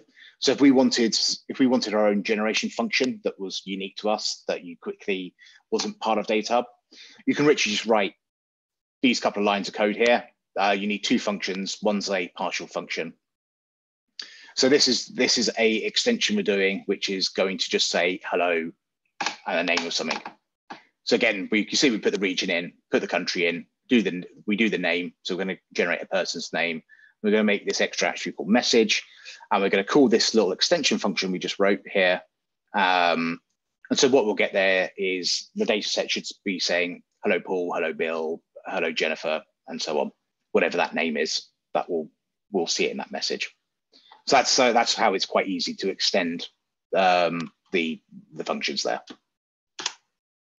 Um, so I guess what's next for Data Hub and Data Helix? And Andrew, chip in here if you want to. Um, so we're, we're going to start merging these two together. So we're particularly interested in um, the spec language that Data Helix has. So how can we use that in Data Hub as well? So it's much easier to probably just write a quick JSON file than it is to get down into Python. So if uh, anyone's adverse to writing Python, we can actually still use these data profiles that we've got in Data Helix. Also, we wanted to have a big um, investigation into uh, the legend language that I think was presented much earlier on. Um, and so can we take legend data type specifications and then can Data Hub understand that and then start synthetically generating data to that specification and to the, the constraint language that's in legend. So that's that's a kind of a big area of research we're looking at right now. And uh, so we've got Data version two coming quite soon. So um, at the moment, we only support when it comes to analysis, we need um, discrete data as well as continuous values. We can't handle data sets of continuous values only. So that's a bit of enhancements coming along. Got uh, multi-table support as well. So actually you can, say you've got the classic kind of, you know, um, customer supplier database, you can export those as CSV files or whatever, uh, and we'll be able to, and you can supply those as like a multi-table and we'll understand, it'll understand the relationships between the different tables, you know, the foreign key and primary keys. So multi-table support's coming. And we'll finish actually with the CTGAN integration as well. So CTGAN is an open source um, GAN model that generates uh, synthetic data. Um, and so we're going to bring that into Data Hub as well, kind of wrap it over and give it that same consistent way of working as you would with all the other models. so hopefully that's going to be in the next month. We'll be making that big PR and it'll be available. Then in we go to the version three features. So a big question is people always ask is, well, how big a data set can you generate? At the moment, we're reliant on pandas data frame. So the question is always, well, how much memory you got? Um, and that's how big the data set can be that you can generate. So um, there are techniques we can do to break it up into smaller parts, but really that's that's your limit.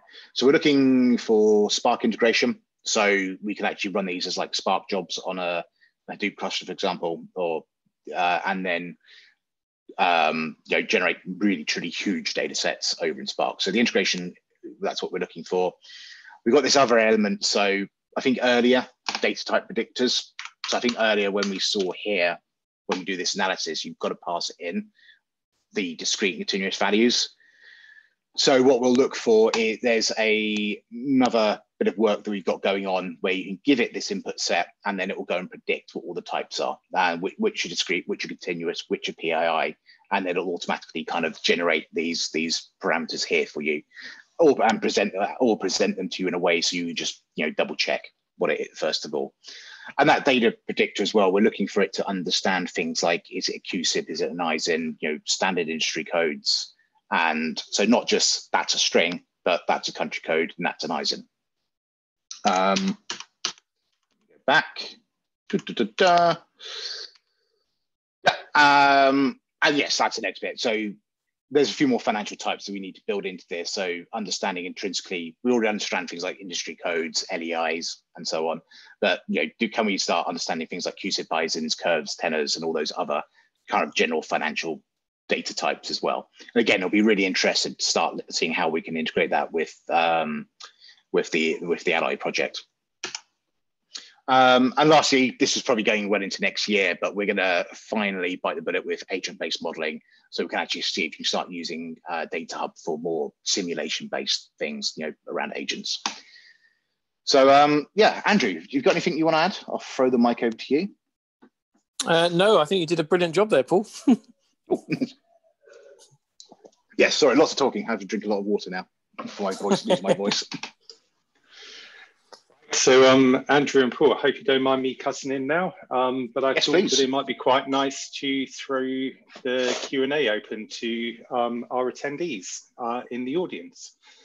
So if anybody's got any questions to ask um, both Paul and Andrew, feel free to use your Q&A um, button um, that I believe is right in front of you to ask your questions. Um, but in the meantime, so each of these questions is going to be to both of you um, because I know Data Hub and Data Helix, you know, they're similar, but they are also different.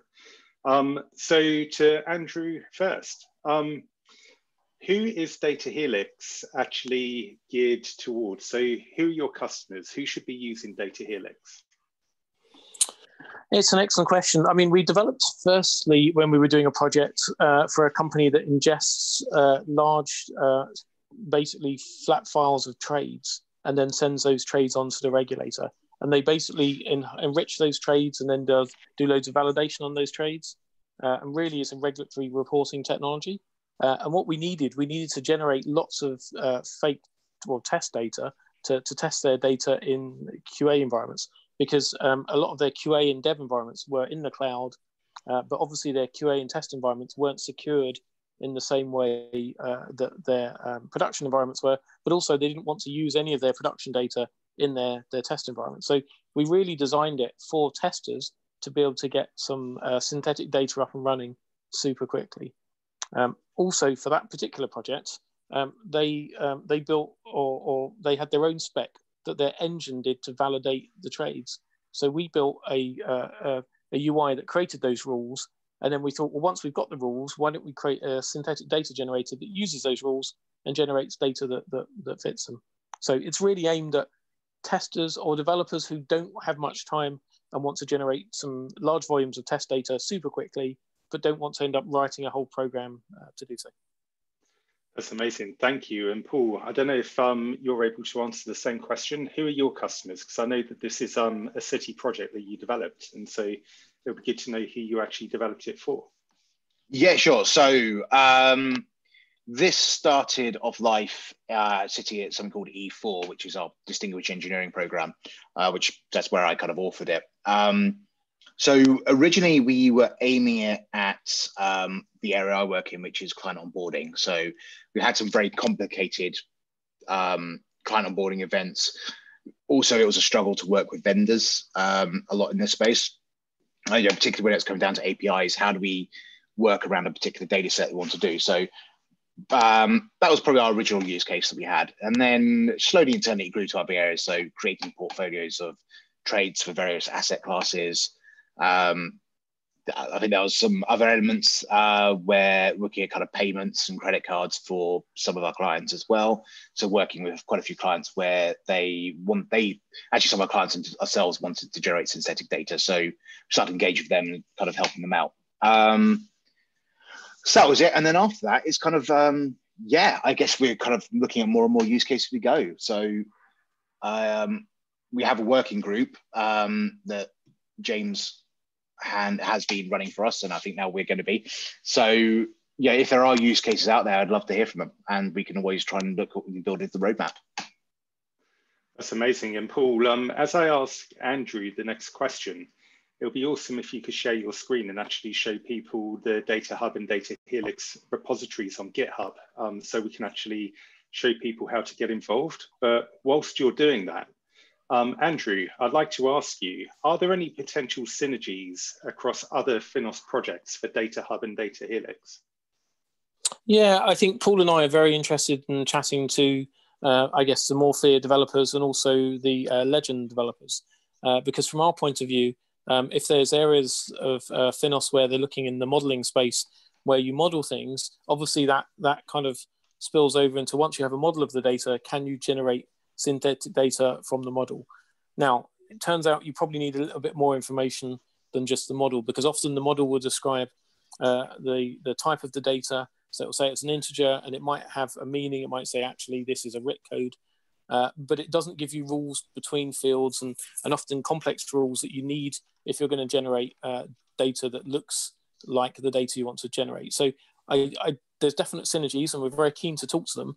Uh, and then we're keen to work out actually what above that modeling do you need, such as do you need a, a kind of a shape of the data overlaid on the model to, to give you enough information to be able to generate realistic synthetic data.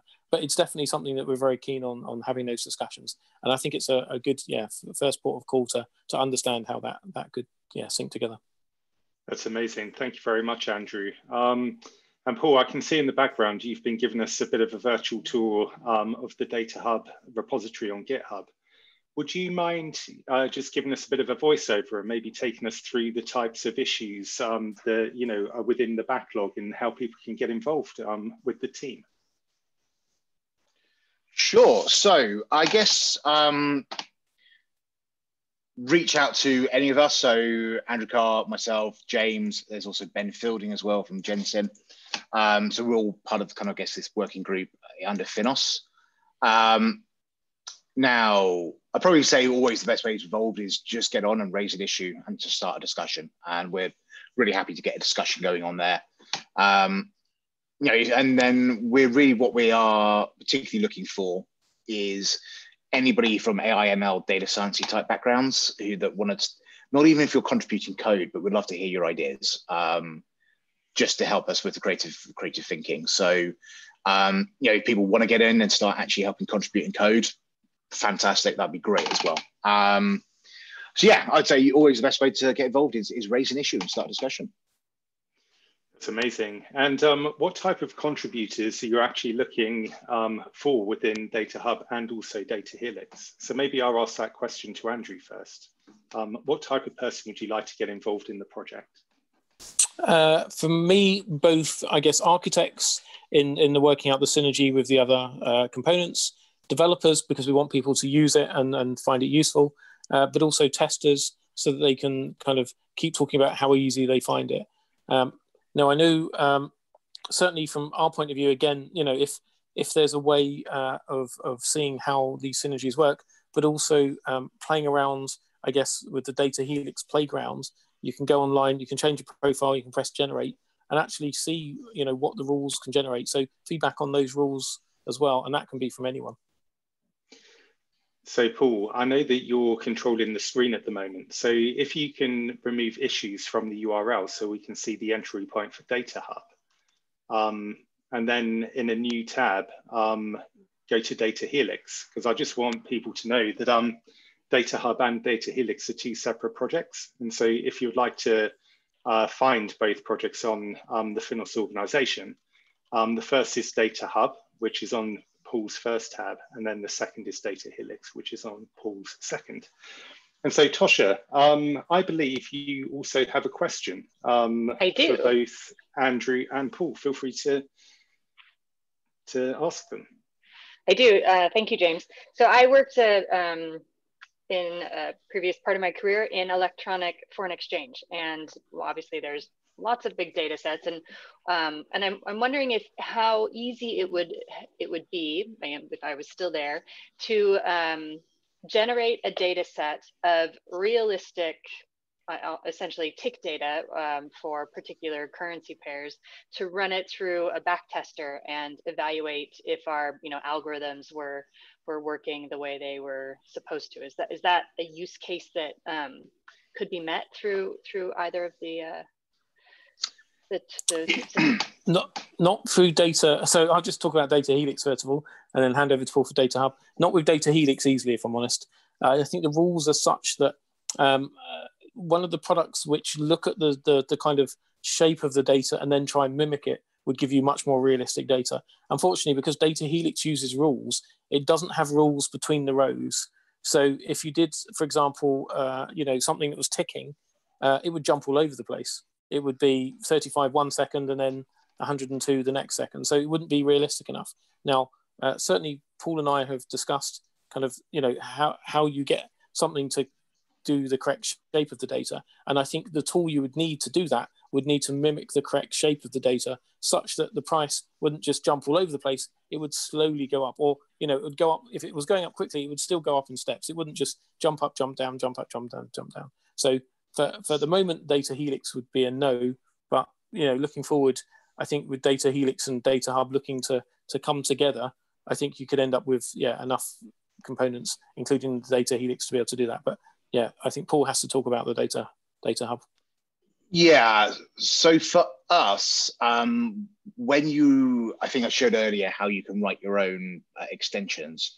So I don't do it quite now but it's actually quite easy to write your own extension function. So really, I guess if you're looking at time series data, is the, the, the, the last couple of values you've generated are an input to the next value you're going to generate. So um, if you do it very simply, basically pick a, have a number, pick a random number between one or 2% from that number, maybe that from the previous number, if that makes sense. Maybe you want that, maybe you want to out generate something like that. So you can do we can do that with your uh, with an own extension function. I don't handle the analysis yet. There is a library. There is some Python work that's been done by some people out of Cornell University that does do analysis of time series data, and then again through GANs again. So I am actually kind of looking at how that could be integrated in Data Hub as well. So, um, and if their things mature enough yet to, be, to, to, to use it. So the answer is kind of a kind of you can. fair enough. Fair enough. Thank you. Um, I have a another one back from my FX days. I, I, there were we you know we had electronic trading happening in multiple different areas across the firm and some of that information you couldn't um, so actually on trade data not real time um, you know ticking data but trades that were executed um, we'd want to know about them but because of data privacy laws you can't pass that between that information between jurisdictions so is that a use case where i could essentially you know, as you were talking about earlier, and um, and this is not an area of expertise, but um, I'm guessing differential privacy plays into it. Is that a, a where a, a use case where I could pass the data over from one region to another, knowing that I have safely um, not passed any client information or specific regional information that wasn't allowed to be shared. Got it. So I think that's more a problem that would be lend towards redaction and anonymization, because what you what you don't want to do is with that you want to you want to straight remove it. Yeah. Otherwise, we'll be making up the trades, and it'll be a bit scary suddenly. Well, theoretically, the shape of all the if you did like generated ten thousand trades, hopefully they'll be statistically the same, but um, couldn't quite guarantee that. So Paul and Andrew, I saw Stephen Goldbaum from Morphir actually came on cam to ask you a question. So Stephen, are you there? Yeah, yeah. So one of the things that we've been interested in Morphir is the idea of in domain modeling that you want to sit down with your business owners and kind of come up with a model in real time together. Uh, and part of that would be generating sample test data. So as you're coding, you know, imagine like a, a, a decision table. It's got a finite set of, of values. And it, it, would be great that as you're coding and adding that finite set of values in an enum or something like that, that you can generate the sample data on the side and that can run and your users can see that in real time and see that, oh yeah, the, the rules that we're coding right now actually pass those tests is that something that you would see would be uh, doable? Um, you can definitely do that with the data helix now with the playground, online playground. I mean, it's depending on how complex the rules are, will determine how quickly it responds. But you can do that. You can, you can, and I didn't do a live demo just because I'm scared of doing live demos and things always go wrong when you try them live. But um, you can just edit the rules in the web browser, press run, and it will regenerate the data. And I totally agree with you, Stephen. I think ultimately, certainly with users, when they see the data in reality, that's when they go, oh, no, no, that's not right. That can't be that because of that. And that's when you get really useful information that they just happen to have forgotten to tell you. That when you go and code it and come back and they go, no, no, no not like that. That you, yeah, if it's interactive, you, you totally get that response. Yeah, cool. Thanks. So that's great. And so before I ask the next question, I just want to remind um, people in the audience that you can actually ask your own questions by using the Q&A um, facility that's in front of you on screen. Um, but in the meantime, so Andrew, I understand Data Helix is actually written in Java. And Paul, we know that um, Data Hub is actually written in Python. Um, as you've been exploring the synergies between both projects, can you kind of talk about the ideas um, that you've been having for bringing both projects closer together in terms of functionality? So I, I, guess for me, I think Paul and I have been talking about three things in terms of synergy. One is architecture, two is API points, and three is language. I think um, the Data Helix was originally written in Java, I guess for a couple of reasons. One, because of the project it was involved with to start with. Two, because uh, the resources I use were all Java developers. I had them available. It kind of made sense. And, and three, at the time, um, quite a few of the organizations we thought would use it, we know were heavy Java users. Looking back now, though, I probably would have done it in Python. So I think the, the move forward is uh, to sync up with the Data Hub and really move any Data Helix components we want to keep uh, into into the Python so that yeah, so that the data Helix and Data Hub become components in this, you know, the FINOS synthetic data components, I guess. And um, Paul, yeah. is that um, something that you agree with?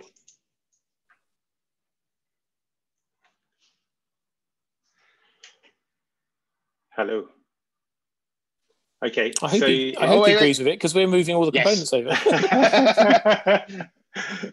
yeah, sorry. I, uh, no, I, am on like sorry. I, I, muted myself and uh, actually I, I, muted myself to talk. I didn't realize I was on mute already. I'm muted already. So um, yeah, it's obviously something I completely agree with. And I think one of the benefits of Python in this space is just the the weight of that data science community that's behind it. Um, it's by far clear the the winning language. Um, and I think also within most financial firms now, most of us are using Python to glue quant libraries and all sorts of things together. So it's just a, uh, I think in that space it's just a clear winner. Uh, mainly because I think also with Python, it's if you could, particularly I found in the synthetic space, every time I go, well, I'm going to code this thing together, a quick Google search finds that somebody's already built it, and I can just pip install it and then expose it. You know, make a few modifications around the top of it and expose it through Data Hub. That's brilliant. And um, I'd like to remind everybody, you know, who's actually watching us speak that um, both Data Hub and Data Helix are open source projects. And so they're here for people to utilize now. Um, so Paul, without putting you too much on the spot, can you just introduce, you know, the READMEs and, you know, how people can actually fork and clone and, you know, bring uh, the projects local to, um, to test before they get involved, you know, with the community? Sure. I guess so Okay, so the most simple way is uh, to get started with Data Hub is um, let's just do this quickly. And um, I'm just going to generate a Python virtual environment, Python, uh, Python minus M. No worries. So we can see Chrome at the moment. Uh, oh, hopefully. Interesting that you can see Chrome. Uh, oh, apologies. Let me stop that share um, and start the share again. And share the screen. That's it. I can see There we go. Excellent. So um, let's just activate that. So getting started data hub is, is simply as simple as pip install data. I can't type today. Data hub core, enter. And you can see it's bringing it down and off you go. So if you want to start with it, that's what you can do. And then all you need to do is go into one of our test folder, folders, test, pick a test, cut and paste that in, um, put it into a Python file, and then just run it, and it will work. So that's if you want to run your own. Um, otherwise, again, the easiest way to normally start with stuff is um, let me maybe start another window up.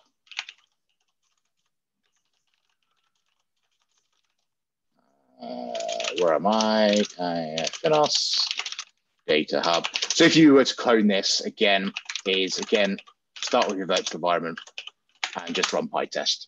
Um, and that will run all the tests and show you that it's all working.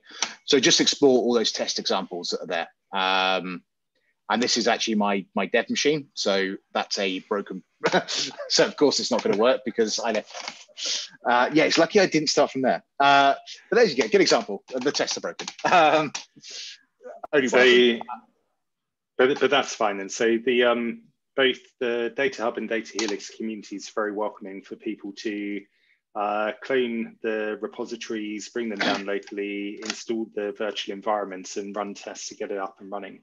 And then also if they find um, issues, um, to feed that back into your um, into the GitHub issues for the project and get involved with the community. Exactly. And so and that's brilliant. And so as we lead into the um, final two minutes um, of our session this afternoon, um, so Paul and Andrew, do you have any kind of um, final asks, you know, for people who are actually watching us this afternoon? Is there anything that you would like people to get involved with where you need help? Um, just so, you know, we've got, um, I don't know, an entry point for anybody who wants to get involved. Yes. Uh, Andrew, do you want to take that one? If not, I can. I shall take that then. So I think um, some good areas that we're really interested in. So there's certainly that that link up with um, Legend. Morphir also sounds really interesting. I know we've got a couple of people on from there. So again, you know, what synergies are there for that area? Um, I'd really like to know kind of any missing functionality. So real, real primitives that might be missing for somebody, you know, if there's anything there. Um, another thing that's going on is creating a set of examples based on the uh, ISDA and CDM specs. So that was a thing that also uh, we engaged with in early in the year. So could there just be a whole load of examples of like, this is how you make a, this type of ISDA contract or that type of ISDA contract. And there's just a little bit of Python script there that you can just cut and paste and off you go. You can start synthetically generating that That is the object. So again, that's that's a really nice, easy area to get involved in as well. So anybody with ISDA understanding, fantastic. Um, yeah, um, try to think of some of the other areas. Andrew, have you got some areas? Uh, no, I think you've covered it for actually. I think, yeah, just feedback. If anyone's got any use cases, like Paul says, uh, the more use cases we do, the more we kind of get to have experience on you know what would work well with the projects and what you know how the projects need to uh, change and evolve to to hit new use cases. Yeah. So um, that's. I was just going to say that's it's been an amazing um, past hour of being um, escorted through Data Hub and Data Helix. Thank you very much, Andrew Carr and um, Paul Groves, um, for taking us through both of your projects. And with that, I'd like to hand the group back over to Tosha Ellison, who's going to introduce the next section for us. Great, yes, thank you, James. Thank you, uh, thank you very much for that. Um, so in our final session, I'm, I'm, um, I'm pleased to have a presentation on perspective, which was one of the earlier contributions that came from JP Morgan uh, into the foundation. And so we've really had an opportunity to um, you know, see it develop and, and see the the community grow, uh, which is which is always nice. And it's it's certainly something that um, is an area that I'm interested just from my personal background and and um, you know which has broad applicability ac across industries is, is how you present complex, fast-moving data um, in ways that's easy to interpret, and how do you give access to your you know your users to be able to to make sense of that data too. And, and of course that ties into some of the conversations in the, in the previous one. So. Um, with that, uh, I'm, I'm pleased to share this presentation from June Tan uh, in the Perspective team. I will stop my video.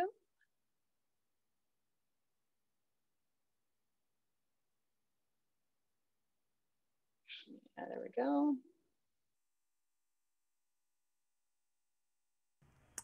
Hi everyone, thank you for virtually attending. My name is Junyuan Tan, I go by June. I'm a software engineer at JP Morgan, and for the past two and a half years, I've been part of the team working on Perspective, an open source streaming data visualization engine that's built for large streaming data sets. And uh, being a FINOS subconference, I figured that there are people in the audience who've already used Perspective. You might have heard of it, you might have used it a little bit, you might have even contributed to it, for example. And so for this presentation, I wanted to talk about something that's pretty new in terms of our project. We've been working on it for a little over a year now, and it's taking perspective out of the WebAssembly context and porting it to Python, and more specifically using the using perspective Python within Jupyter Lab to do streaming data visualization in a whole new domain in a whole new way. So I wanted to start off by talking about these sort of two predominant ways that you can do streaming data visualizations and interactive visualizations, which is a web dashboard and in Jupyter Lab or using Python. So web dashboards are great. They are interactive, they're easy to use. You can have really visually beautiful visualizations, arbitrarily complex UIs, but at the same time, not everybody wants to write JavaScript, and not everybody can. Python in data science is really the de facto language, the de facto standard, and it's difficult to have somebody you know have to learn Python and do JavaScript and sort of do the UI part and the data part at the same time. But when we look at Jupyter Lab, for example, it's extremely powerful. It's Python is the de facto standard. Jupyter Lab is the standard. uh, but at the same time, it has the sort of drawbacks that web graphics and sort of uh, web dashboards really excel at, which is that it's more difficult to write UIs in IPy widgets. And as a data scientist, as a developer, you might not want to spend all of your time doing custom UIs for each individual notebook or even, uh, you know, kind of hand rolling your own UI library to do these sort of visualizations and transformations.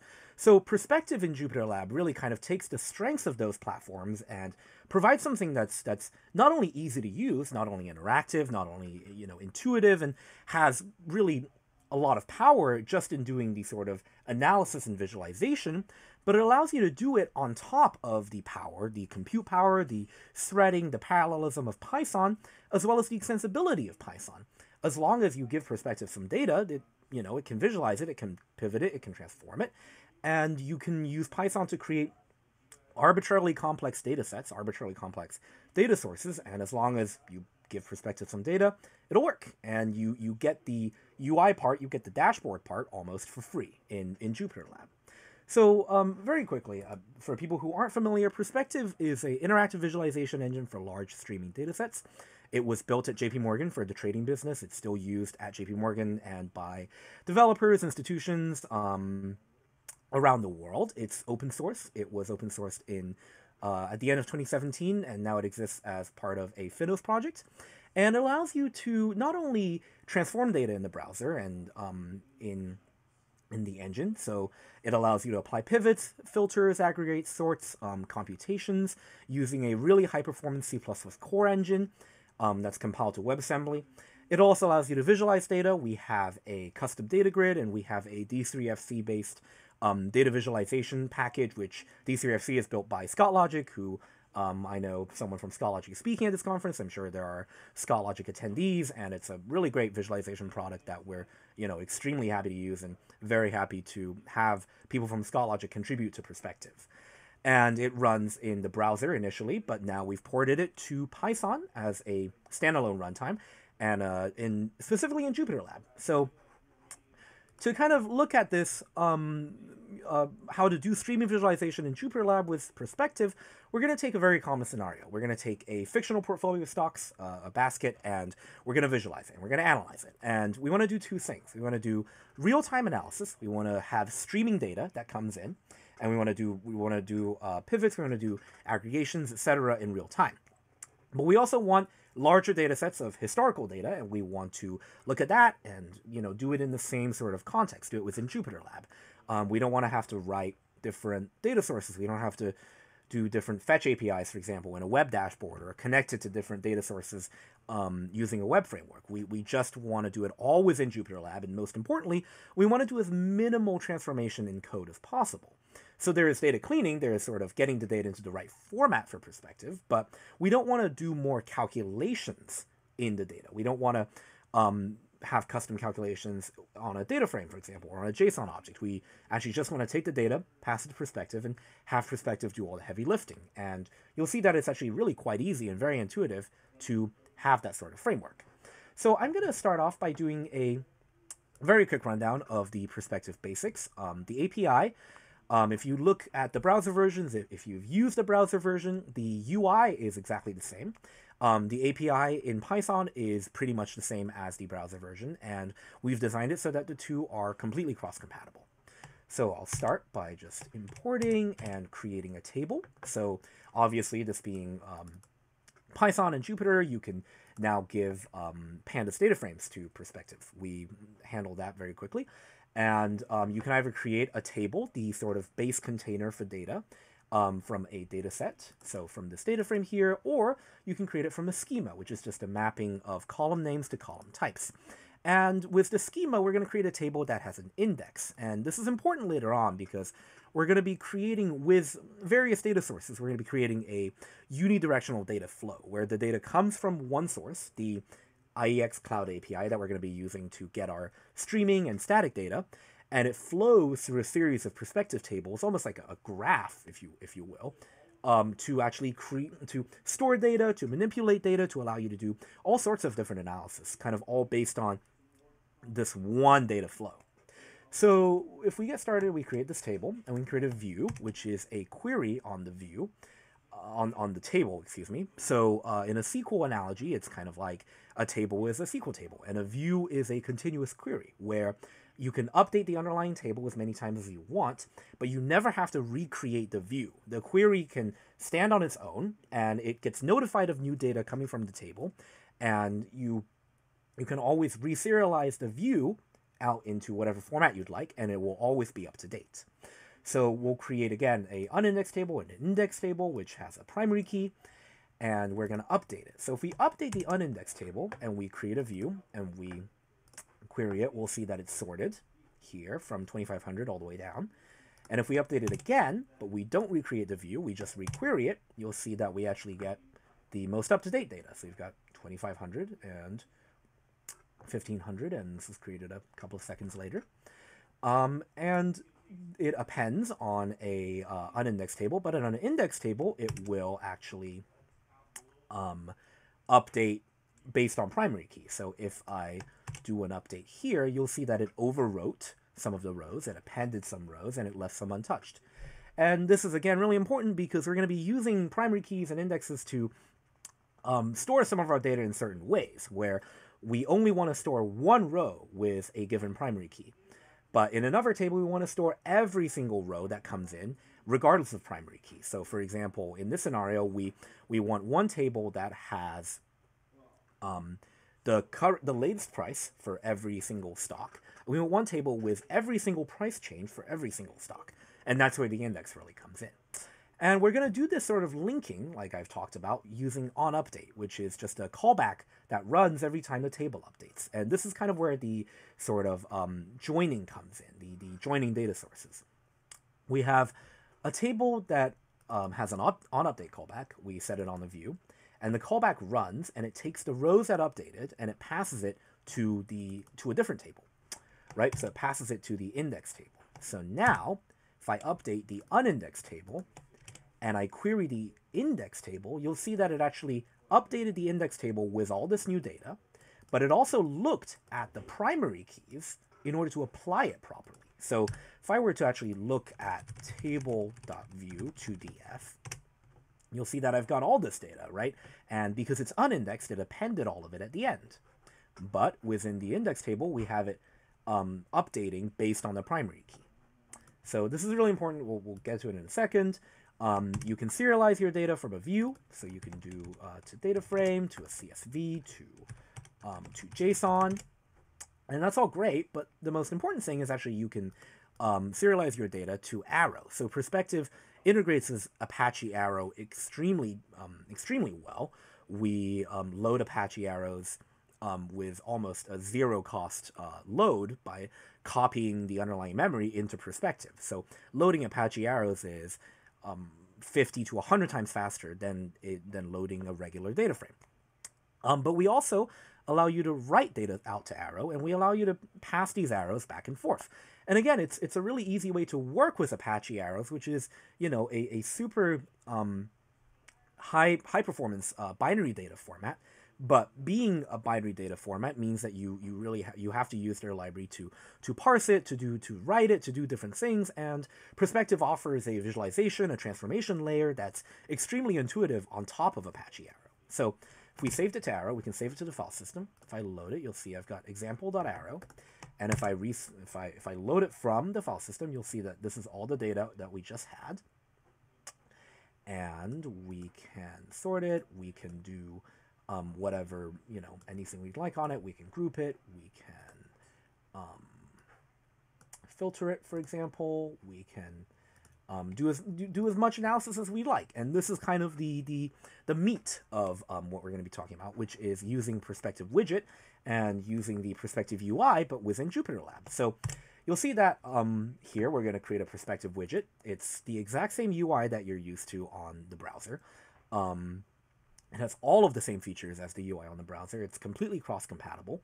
Um, it allows you to not only um, not only not only interact with it on a UI level, so I can take away a pivot, I can add a pivot, I can add a filter, maybe I want it to be 2.5, or maybe I wanted to sort it by B, or get rid of the sort, or add another pivot, or I guess D is null in this case, so I guess we can pivot here. But it also allows you to interact with it from the Jupyter kernel. So if I typed in widget row pivots, excuse me, you'll see that I can, I guess C, and if I typed in widget row pivots equals none, it unpivoted everything. If I type in widget reset, it'll reset the entire widget, except I guess not that one for some reason. Um, but you can transform the state from uh, from Jupyter, but it also means that you actually can save the state um, within a within a library. So you could very easily, for example, instead of just initializing the widget, you could you could have these options. You could set them as you wish. Um, column pivots, right? Or you can do it later on the fact. So again, it's a, it's a whole different way to interact with um, perspective instead of having to sort of save your um, save your interactions or the, the state of your interactions, for example, in, in a in a way that might be cumbersome in the browser, doing it in uh, Jupyter, doing it in Python is extremely easy. And we can also do streaming data in, um, in perspective in Jupyter. So obviously streaming data is a, a big point here. Um, but the issue with doing it in Python or doing it in Jupyter is that we, we can't block the main thread. We can't let the notebook be blocked while we're writing this new data, while we're rendering this new data. So we're going to use hardware threads um, on Python, and we're just going to create a new thread. We're going to run perspective in a separate thread, and we're going to have it update the UI as it goes. So if we create this widget, right now it's completely empty, and if I start this thread, you'll see that it's actually running on the separate thread as we go along and I can do any sort of um, analysis I'd like. So I can sort it, I can pivot it again, I can pivot it again, I can do all these different things with it. And I can also, while this is running, I can use the kernel. I can still continue to use the kernel as much as I'd like, you know? I can check the size, I can um, create a new view. Let's see so if I did row pivots equals, what's a good column? Name, and I did two JSON, um, and row 100. So it's querying it, and because it's multi-threaded, it's, it's um, you know, dispatching those um, it was in a way that's not going to block the main browser thread, and, and not the main browser thread, excuse me, the main kernel thread, which is really important. And so from that sort of overview perspective, now we can look at very quickly the data sources that I wrote, um, which use the IEX Cloud API to give us streaming market data and also uh, static market data. And it's all um, dummy data. It's really easy to get a sandbox URL and to get a sandbox key. So we're going to be using that. But again, the most important thing with these data sources is that they don't block the main thread. And again, we're going to use multiprocessing, we're going to use threading, and um, we're just going to hook them up together. Um, all of this code is available online. All of it's open source, so definitely feel free to take a look at it. Um, you know, play with it, play around with it as much as you want. And so we're going to get onto the sort of main part of this presentation, and um, we're going to start by doing our imports again, and importing our schemas and our data sources, and creating a pyEX client. And pyEX is the IEX wrapper library in Python, um, and it's really easy to use, um, really simple to set up, and gets us our data um, really quickly. So we're going to use that. It's, it's great. It's a great library. And we're going to create a portfolio of stocks, just some uh, random stocks here, tech stocks. Um, really no particular reason, random, randomly generated. It's all dummy data. And we're going to start by uh, setting up our data sources. So like I said earlier, we're going to create a few tables and we're going to link them up properly to um, create this data flow. So we're going to start by creating a table around what stocks we have right now, a holdings table. And we're going to want to index it because we just want to know, right, as new prices come in, if the prices all append, we're going to have to do some pivots. But if we, didn't, we, we don't care about that information really in this table. So we're just going to store it with an index, which means that we're always going to get the last most recent price and most recent value for our portfolio. And so we're going to update it here, and then we're going to create an unindexed table, which is going to store all of the price changes for all of the stocks in our portfolio. Which, excuse me, um, is going to be important because we obviously want to know how it changes over time. And so we're going to create that, and we're going to hook it up with on update, like I, talked about earlier. When the when the index table updates, it'll take the row and it'll push it to the unindexed table, which is basically just a, a, a dump for all of the data that's come in so far. And I have also a very interesting um, architecture diagram that I cooked earlier, um, and we can look at it here. So the architecture diagram is basically, we have the IEX Cloud API, and it's all one way. So the data stream comes into quotes table, which we're going to be creating in a second. When the quotes table updates, we're going to update the holdings table. When the holdings table updates, again, that's the index table, we're going to update the unindexed table. And from the unindexed table, we now have all of the data that we, we've, we've been getting, and we can dump it to disk using Apache Arrow, which allows us to stream it, allows us to store it, allows us to pass it over a network boundary, to pass it to a different notebook, to send it to somebody using Perspective, to host a server using Perspective on that data. Um, really, the, there's a lot of possibilities. So if we create these tables, we can now create a widget. And so we configure this widget, and most importantly, we configure this widget with a computed column called value, right? Which is a column on the, on the table, on the widget that actually calculates the value of the portfolio by multiplying quantity and price. So this kind of goes back to the requirement we had earlier where we don't want to have to touch code as, you know, much as possible. We're not doing this calculation in Python, where, or at least in user-facing Python. The user doesn't have to write a code that transforms the data before it goes into perspective. They can do it completely within perspective. And in fact, they can do it with, from within perspective using the um, using the expressions API, which again is actually um, something new that we've we've built this year, which allows you to write these arbitrarily complex expressions that will um, that will update as your table updates, and it will um, resolve itself properly. So if I were to do, let's see, if I deleted that and I did the square root of value, for example, and I push it out, it will actually give you all of these columns, and you'll see when we start updating the table, these columns will update um, at the same time, in, in real time, basically. So now we can create a, another widget for our total table. This is going to be configured as a uh, line chart that's just going to look at all the prices as they tick in.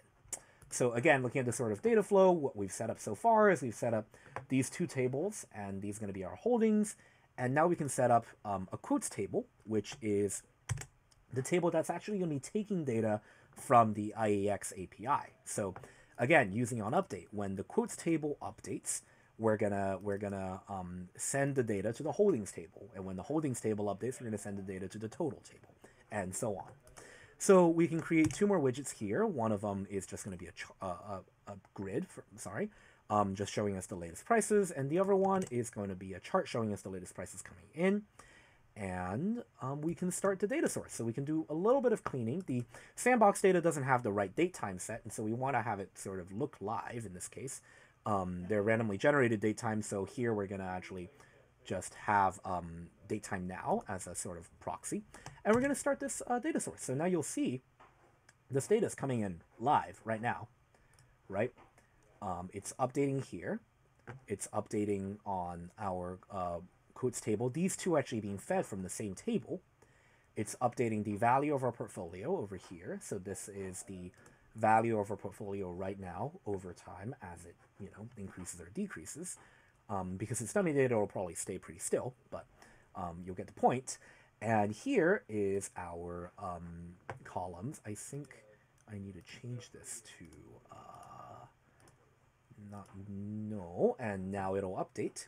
Um, zoom is at zero for some reason. I think that might be a data issue, but you'll see that as our prices update on this index table, it all of the computed columns are updating at the same time, just in lockstep, right? And again, going back to one of original requirements, the main browser, the main um, kernel thread, my bad, is, is never blocked. I can do as much, you know, queries on this as I'd like. I can do quotes table size, for example. Ah, quotes, uh, excuse me. And I can see it continue to tick. Um, I can, again, do the same thing. I can get another view out of it. Um, let's do to dict and row or start row 100 and row 150, and that's 50 rows in a dictionary out. And I'm going to clear that output just so we don't have to look at it. And we can also do other things, like we can take this Um, we can take this output, we can put it in a separate view, we can have it over here. So now we can look at our um, data as it is ticking live. That might, again, be sort of dummy fluctuation. Um, and we can also do, we can also create more computed columns. So for example, if we didn't care about the data ticking in every, um, every second or every subsecond, we can have it actually look at it per minute, for example. So if we bucket by time, and we change the pivots here, we can see that now everything's being aggregated by the total value um, over time. And I think this might be wrong. There we go. Yeah, so it was, because it was doing a minute, it was adding together the value at every second. So we changed that to last, which is the, the basically the last value in the table um, for that minute. And this will give us the correct value for our portfolio. So you can see, and we can also get rid of the split. So now this is just the, I think this might be a sum, and we might just have to repivot it, but you can kind of see the point of it allows you to do, you know, as much analysis as you'd like on on in Jupyter Lab, And you have the UI, it's given to you for free. You have the ability to do complex visualizations, and you also have the ability to do um, static visualizations at the same time. It's just as powerful. We can backtest um, using historical prices. So a little bit more cleaning here, and we're going to get the data for the past five years. And we can create another um, another widget here, and we can render everything. And now we can see this is, excuse me, the open high, uh, open high low close for um, the S&P 500 index uh, ETF. And again, if I didn't want to look at it every single day, I could maybe look at it by month bucket, actually, I think. Yeah, month bucket, um, date. And if I were to bucket it here, you can see the actual uh, open, high, low, close for each month. And I can take that, I can pivot it out by symbol. Now I can see it on all symbols. I can also, again, filter it down to something more specific. So if we can look at SPY, we can also look at Snap in this case. Again, completely different charts. Um, and then if we wanted to look at it on a more granular level, again, we can just take off that pivot and we can add this pivot back in. And now we've got an extremely granular view of per day on the open, high, low, close prices, right? But again, all of this is extremely easy to do using perspective, using um, the UI that's already been provided. It allows you to hook up a complex data set from uh, Python, from a Python kernel, and it allows you to do it with very minimal transformations um, within the code by the end user. So imagine uh, a, an end user who's looking at a notebook or a Voila app, or if you're preparing a report using a notebook, for example, you can give them the notebook and instead of kind of looking at pre-generated charts or having to dig into the notebook to regenerate your charts, you just show them perspective and they can do all of the transformations, do everything interactively um, within the UI. And one of the other really cool features that I wanted to talk about was this sort of integration with Apache Arrow. Um, if we create a view here that just has the value, we don't care about the price, but we're calculating the value, and we save it on another thread. We've just saved uh, everything to the uh, to the file system, and we can open it up. And again, there's uh, quite a lot of power to this, right? We can do exactly the same analysis that we did earlier. So well, maybe not like that, but we can do it here and split it by time. And now we suddenly have all of the prices that, you know, we've been looking at, except in a, in a static form, obviously. Um, so it's not updating live, but you can see the sort of power in this where if you wanted to, for example, build a notebook that, excuse me, ran live analytics over a day, and at the end of the day, you saved it to disk, and you ran it for 20 days and you wanted to look at every single day of analysis, you don't have to go to the web API or whatever data source you're fetching it from and try to reconcile everything or try to um, maintain a separate database. You just store 20 arrows and you load them in a row and you can put them in the same widget, you can put them in the same perspective widget, and there you go. You can have it, um, you can host a web server, you can run a remote perspective using um, perspective Python and perspective in the browser. There are a lot of possibilities.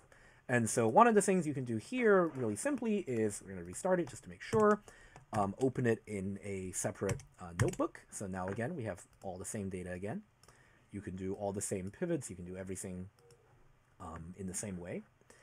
Or you can actually open a Perspective workspace that's running on a Perspective server. So it's getting data from a Perspective server. And actually, this whole time, I've been running a server that is in the background that's using Perspective Python. And it's actually going to have, I think the render thread might be blocked, um, but it will be, there we go. So if I update all the points, you'll see that it's been running um, for about 40 minutes now and it's still getting as far as I can tell it should still be getting live data. And if we were to for example um, bucket this by minute you'll see that we have each minute here. And so this really brings together again um, the sort of paradigms of a web dashboard and a Python backend um, but it's more powerful than what you can do maybe in Jupyter Lab. But there's a little more setup with a web server and you have to deploy it or you have to run it somewhere. But it allows you to create even more interactive dashboards that you know are, are fed by Python. Um, all the data synchronized. It's extremely powerful in that you can, you know, um, if I used last, there we go. Um, it's extremely powerful. You can, you know, have all of the power of uh, Perspective Workspace. You can have this, for example, be a global filter. You can click on it to filter on the rest of the dashboard. You can package this dashboard. You can deploy it at an endpoint. You can send it to somebody. Um, you can dump the data out of here into a CSV, etc. All of this. It's it's all you know. There's a lot of possibilities there, and so I think this really brings uh, my presentation to a close. Um, I wanted to thank you all for attending. I wanted to thank the organizers, um, both at the Linux Foundation and at FINOS for uh, bringing, putting this event together and for uh, inviting me. Um, everything that I've talked about is open source. Every every single part of the code that you saw is open source. Perspective is fully open source. Um, the notebooks, um, everything on this presentation is online. So feel free to take a look at it. Feel free to reach out to me or on the Perspective repo or with any questions or any ideas. And thank you guys for attending. Um,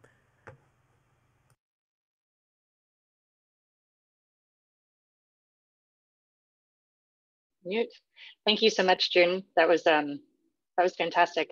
Uh, you've already answered um, one question um, online. Maybe uh, in case anybody missed that, do you want to just touch on um, touch on that question and answer?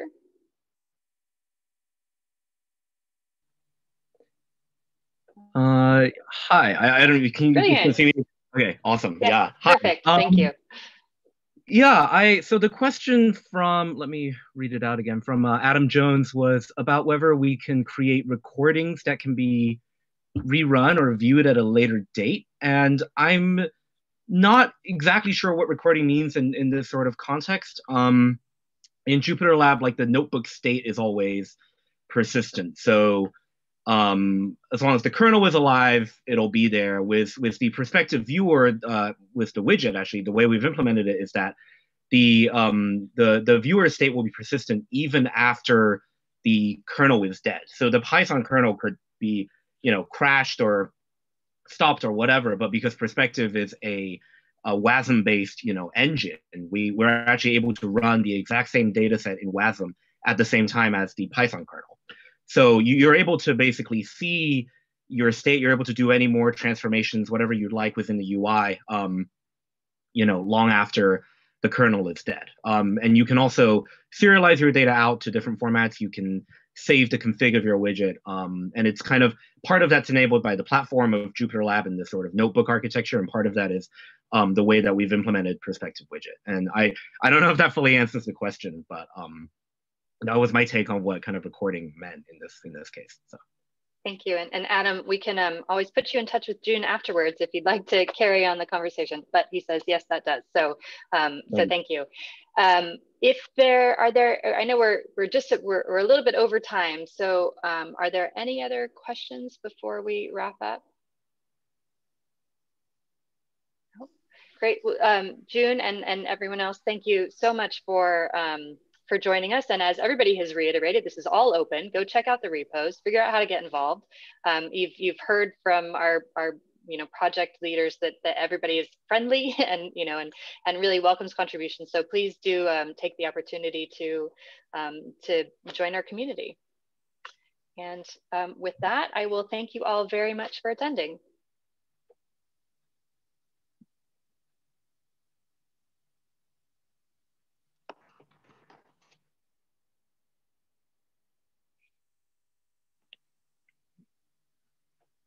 嗯。